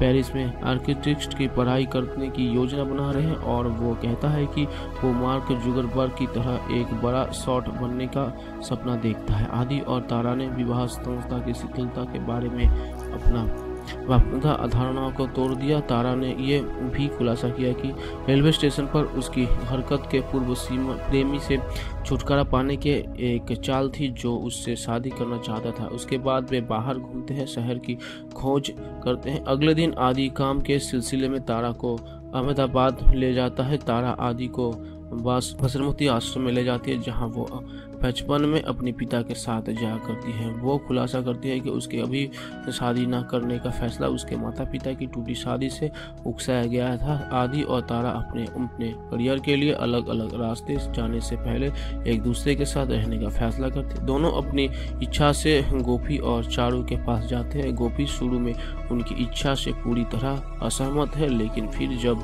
तारा अपनी शास्त्रीय गायन क्षमता से चारू का प्रभावित करते हैं तो वो हार मानने की फैसला करते हैं। आदि का परिवार आदि को एक औचौर भेंट देने की योजना बनाते हैं और उसकी भाभी को पता चलता है कि वो तारा के साथ रह रही है, जिसका उसका भाई दृढ़ता से विरोध करते करेगा। वो तारा से उसके भविष्य के बारे में सोचने के लिए कहती है, जब किसी समय तारा को अपने प्यार और अपने करियर के में से किसी एक को चुनना होगा, तारा और आदि खुशी से रहने हैं। अपने प्यार आपसी सगाई, सौदाई और बढ़ते आत्मीयता और लगाव के रोमांस प्राप्त करते हुए तारा की पेरिस स्थित संस्थान में प्रवेश को मंजूरी मिल गई है। तारा गोपी को इस बारे में बताती है कि उसे विश्वास दिलाती है कि अब उसके लिए आदि को छोड़कर इतनी दूर जाना मुश्किल हो सकता है।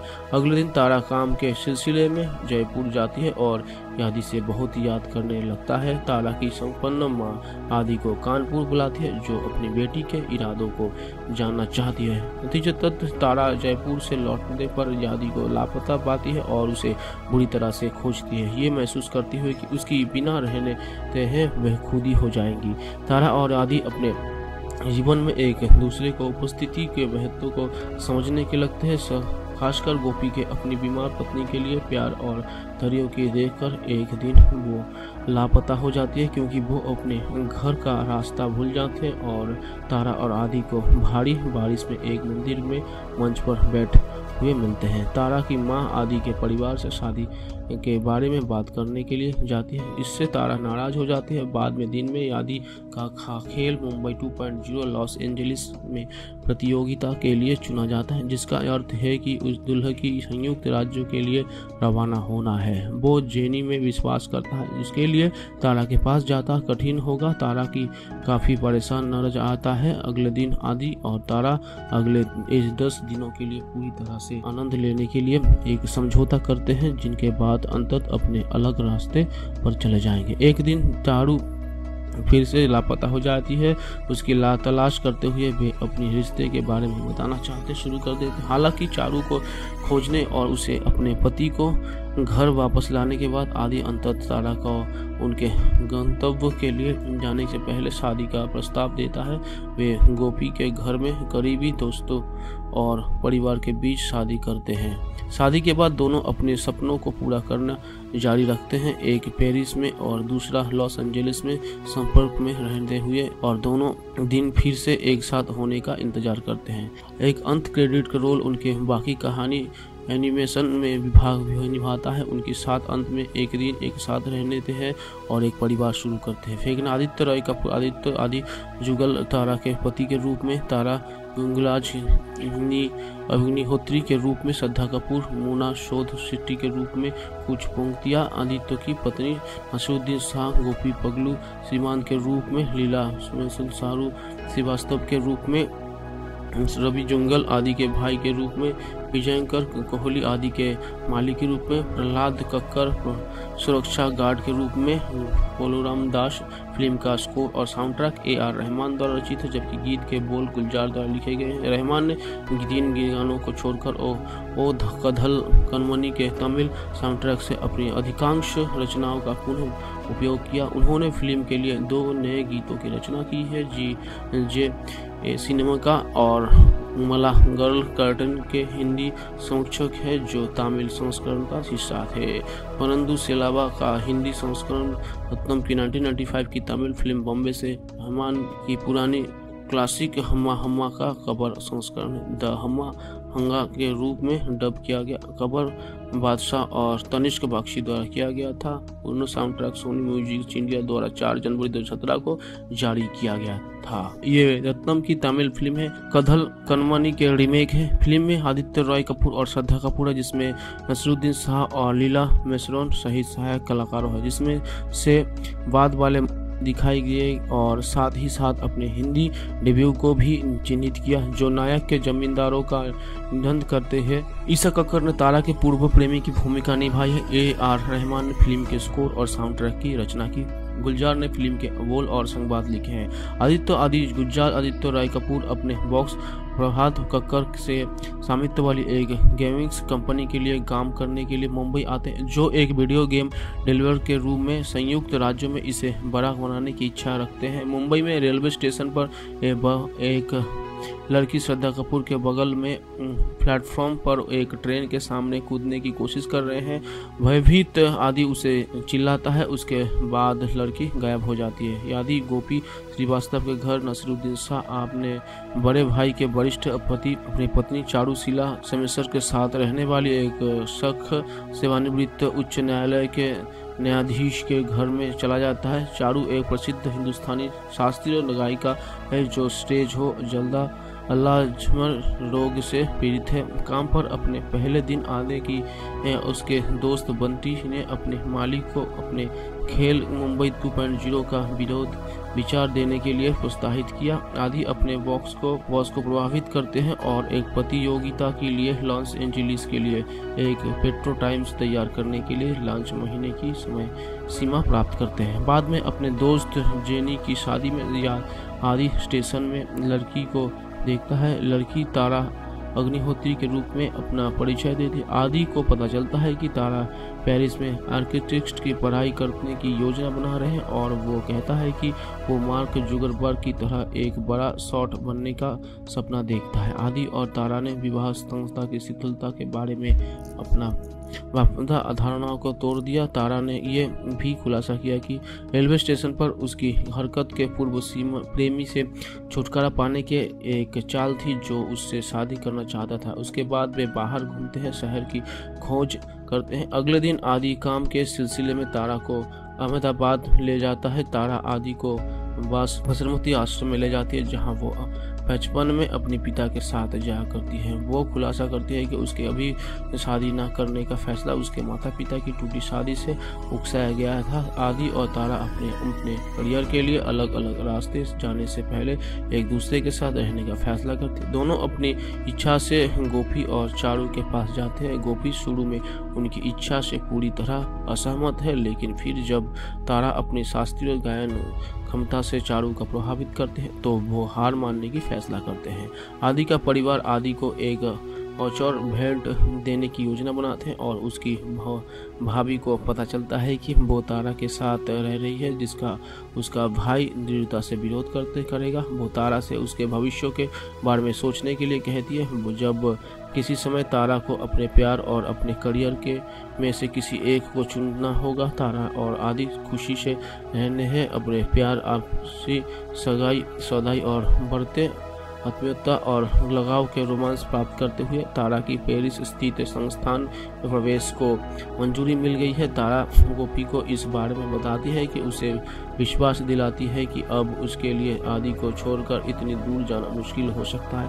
अगले दिन तारा काम के सिलसिले में जयपुर जाती है और आदि से बहुत याद करने लगता है। तारा की संपन्न माँ आदि को कानपुर बुलाती है, जो अपनी बेटी के इरादों को जानना चाहती है। नतीजतः तारा जयपुर से लौटने पर यादी को लापता पाती है और उसे बुरी तरह से खोजती है। ये महसूस करती हुई कि उसकी बिना रहने तय वह खुद ही हो जाएँगी।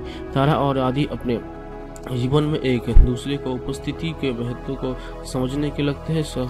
खासकर गोपी के अपनी बीमार पत्नी के लिए प्यार और धैर्य की देखकर एक दिन वो लापता हो जाती है, क्योंकि वो अपने घर का रास्ता भूल जाते हैं और तारा और आदि को भारी बारिश में एक मंदिर में मंच पर बैठ हुए मिलते हैं। तारा की माँ आदि के परिवार से शादी के बारे में बात करने के लिए जाती है। इससे तारा नाराज़ हो जाती है। बाद में दिन में यादी का खेल मुंबई 2.0 लॉस एंजलिस में प्रतियोगिता के लिए चुना जाता है, जिसका अर्थ है कि उस दुल्ह की संयुक्त राज्यों के लिए रवाना होना है। वो जेनी में विश्वास करता है। इसके लिए तारा के पास जाता कठिन होगा। तारा की काफ़ी परेशान नज़र आता है। अगले दिन आदि और तारा अगले इस दस दिनों के लिए पूरी तरह से आनंद लेने के लिए एक समझौता करते हैं, जिनके बाद अंतत अपने अलग रास्ते पर चले जाएँगे। एक दिन तारू फिर से लापता हो जाती है। उसकी ला तलाश करते हुए वे अपने रिश्ते के बारे में बताना चाहते शुरू कर देते हालाँकि चारू को खोजने और उसे अपने पति को घर वापस लाने के बाद आदि अंत तारा को उनके गंतव्य के लिए जाने से पहले शादी का प्रस्ताव देता है। वे गोपी के घर में करीबी दोस्तों और परिवार के बीच शादी करते हैं। शादी के बाद दोनों अपने सपनों को पूरा करना जारी रखते हैं। एक पेरिस में और दूसरा लॉस एंजलिस में संपर्क में रहते हुए और दोनों दिन फिर से एक साथ होने का इंतज़ार करते हैं। एक अंत क्रेडिट का रोल उनके बाकी कहानी एनिमेशन में विभाग निभाता है। उनके साथ अंत में एक दिन एक साथ रहने देते हैं और एक परिवार शुरू करते हैं। फेगना, आदित्य रॉय, कपूर, आदित्य, आदि जुगल, तारा के पति के रूप में तारा गुंगलाज अग्निहोत्री के रूप में श्रद्धा कपूर, मोना शोध सिटी के रूप में कुछ पंक्तियाँ, आदित्य की पत्नी असुद्दीन शाह, गोपी पगलू सीमांत के रूप में लीला शाहरुख श्रीवास्तव के रूप में रवि जुंगल आदि के भाई के रूप में विजयंकर कोहली आदि के मालिक के रूप में प्रहलाद कक्कर सुरक्षा गार्ड के रूप में पोलोराम दास, फ़िल्म का स्कोर और sound track A R Rahman द्वारा रचित है, जबकि गीत के बोल गुलजार द्वारा लिखे गए हैं। रहमान ने तीन गानों को छोड़कर ओ ओ कधल कनमनी के तमिल साउंड ट्रैक से अपनी अधिकांश रचनाओं का पुनः उपयोग किया। उन्होंने फ़िल्म के लिए दो नए गीतों की रचना की है, जी, जे सिनेमा का और मला गर्ल कर्टन के हिंदी संरक्षक है जो तमिल संस्करण का हिस्सा थे। फरंदू सेलावा का हिंदी संस्करण रत्नम की 1995 की तमिल फ़िल्म बॉम्बे से रहमान की पुरानी क्लासिक हम्मा हम्मा का कबर संस्करण द हम्मा हंगा के रूप में डब किया गया। कबर बादशाह और तनिष्क बख्शी द्वारा किया गया था। पूर्ण sound track Sony music India द्वारा 4 जनवरी 2017 को जारी किया गया था। ये रत्नम की तमिल फ़िल्म है। कधल कनमनी के रीमेक है। फ़िल्म में आदित्य रॉय कपूर और श्रद्धा कपूर है, जिसमें नसरुद्दीन शाह और लीला मेसरोन सहित सहायक कलाकारों है, जिसमें से बाद वाले दिखाई गई और साथ ही साथ अपने हिंदी डेब्यू को भी चिन्हित किया, जो नायक के जमींदारों का निधन करते हैं। ईसा कक्कर ने तारा के पूर्व प्रेमी की भूमिका निभाई है। ए आर रहमान ने फ़िल्म के स्कोर और साउंड ट्रैक की रचना की। गुलजार ने फ़िल्म के अवोल और संवाद लिखे हैं। आदित्य आदि गुलजार आदित्य राय कपूर अपने बॉक्स प्रभात कक्कर से स्वामित्व वाली एक गेमिंग्स कंपनी के लिए काम करने के लिए मुंबई आते हैं। जो एक वीडियो गेम डिलीवर के रूप में संयुक्त राज्यों में इसे बड़ा बनाने की इच्छा रखते हैं। मुंबई में रेलवे स्टेशन पर एक लड़की श्रद्धा कपूर के बगल में प्लेटफॉर्म पर एक ट्रेन के सामने कूदने की कोशिश कर रहे हैं।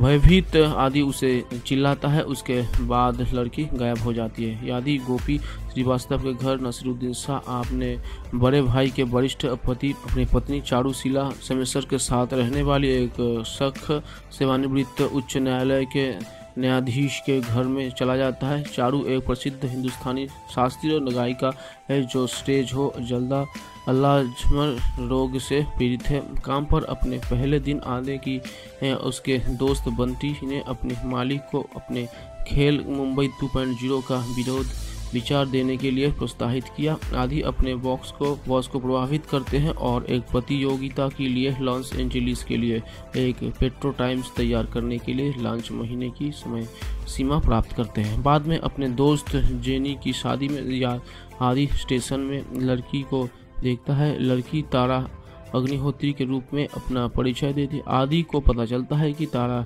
पेरिस में आर्किटेक्ट की पढ़ाई करने की योजना बना रहे हैं और वो कहता है कि वो मार्क जुगरबर्ग की तरह एक बड़ा शॉट बनने का सपना देखता है। आदि और तारा ने विवाह संस्था की शिथिलता के बारे में अपना वापदा अधारणाओं को तोड़ दिया। तारा ने यह भी खुलासा किया कि रेलवे स्टेशन पर उसकी हरकत के पूर्व सीमा प्रेमी से छुटकारा पाने के एक चाल थी जो उससे शादी करना चाहता था। उसके बाद वे बाहर घूमते हैं, शहर की खोज करते हैं। अगले दिन आदि काम के सिलसिले में तारा को अहमदाबाद ले जाता है। तारा आदि को वास बसरमती आश्रम में ले जाती है, जहाँ वो बचपन में अपने पिता के साथ जाया करती है। वो खुलासा करती है कि उसके अभी शादी ना करने का फैसला उसके माता पिता की टूटी शादी से उकसाया गया था। आदि और तारा अपने अपने करियर के लिए अलग अलग रास्ते जाने से पहले एक दूसरे के साथ रहने का फैसला करते दोनों अपनी इच्छा से गोपी और चारू के पास जाते हैं। गोपी शुरू में उनकी इच्छा से पूरी तरह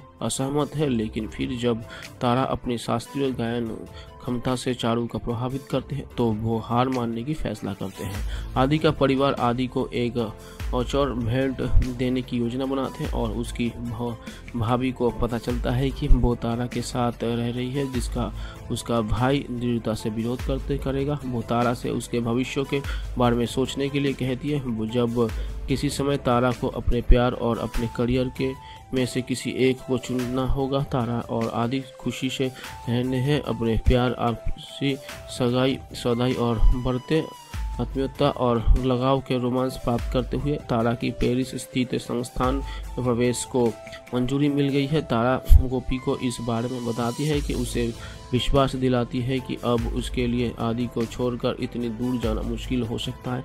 अगले दिन तारा काम के सिलसिले में जयपुर जाती है और आदि से बहुत याद करने लगता है। तारा की संपन्न माँ आदि को कानपुर बुलाती है, जो अपनी बेटी के इरादों को जानना चाहती है। नतीजतः तारा जयपुर से लौटने पर यादी को लापता पाती है और उसे बुरी तरह से खोजती है। ये महसूस करती हुई कि उसकी बिना रहने हैं, वह खुद ही हो जाएँगी। तारा और आदि अपने जीवन में एक दूसरे को उपस्थिति के महत्व को समझने के लगते हैं खासकर गोपी के अपनी बीमार पत्नी के लिए प्यार और धैर्य की देख कर एक दिन वो लापता हो जाती है क्योंकि वो अपने घर का रास्ता भूल जाते हैं और तारा और आदि को भारी बारिश में एक मंदिर में मंच पर बैठ हुए मिलते हैं। तारा की माँ आदि के परिवार से शादी के बारे में बात करने के लिए जाती है। इससे तारा नाराज़ हो जाती है। बाद में दिन में यादी का खा खेल मुंबई 2.0 लॉस एंजलिस में प्रतियोगिता के लिए चुना जाता है, जिसका अर्थ है कि उस दुल्ह की संयुक्त राज्यों के लिए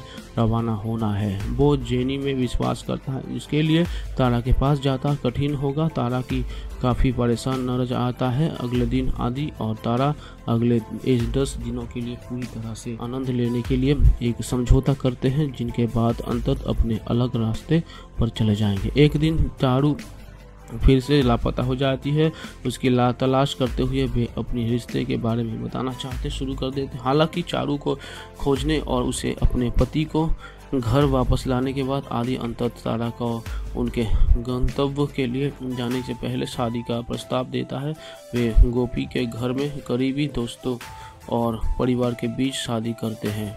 शादी के बाद दोनों अपने सपनों को पूरा करना जारी रखते हैं। एक पेरिस में और दूसरा लॉस एंजलिस में संपर्क में रहते हुए और दोनों दिन फिर से एक साथ होने का इंतज़ार करते हैं। एक अंत क्रेडिट का रोल उनके बाकी कहानी एनिमेशन में विभाग निभाता है। उनके साथ अंत में एक दिन एक साथ रहने देते हैं और एक परिवार शुरू करते हैं। फेगना, आदित्य रॉय, कपूर, आदित्य, आदि जुगल, तारा के पति के रूप में तारा गुंगलाज अग्निहोत्री के रूप में श्रद्धा कपूर, मोना शोध सिटी के रूप में कुछ पंक्तियाँ आदित्य की पत्नी नसरुद्दीन शाह, गोपी पगलू सीमांत के रूप में लीला सारू, श्रीवास्तव के रूप में रवि जुंगल आदि के भाई के रूप में विजयकर कोहली आदि के मालिक के रूप में प्रहलाद कक्कर सुरक्षा गार्ड के रूप में बोलूराम दास फ़िल्म का स्कोर और sound track A R Rahman द्वारा रचित है जबकि गीत के बोल गुलजार द्वारा लिखे गए हैं। रहमान ने तीन गानों को छोड़कर ओ ओ कधल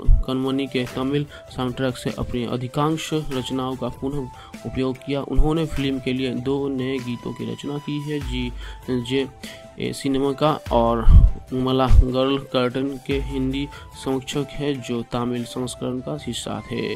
परंतु सेलावा का हिंदी संस्करण रत्नम की 1995 की तमिल फ़िल्म बॉम्बे से हमान की पुरानी क्लासिक हम्मा हम्मा का कबर संस्करण, द हम्मा हंगा के रूप में डब किया गया। कबर बादशाह और तनिष्क बाक्षी द्वारा किया गया था। पूर्ण sound track Sony music India द्वारा 4 जनवरी 2017 को जारी किया गया था।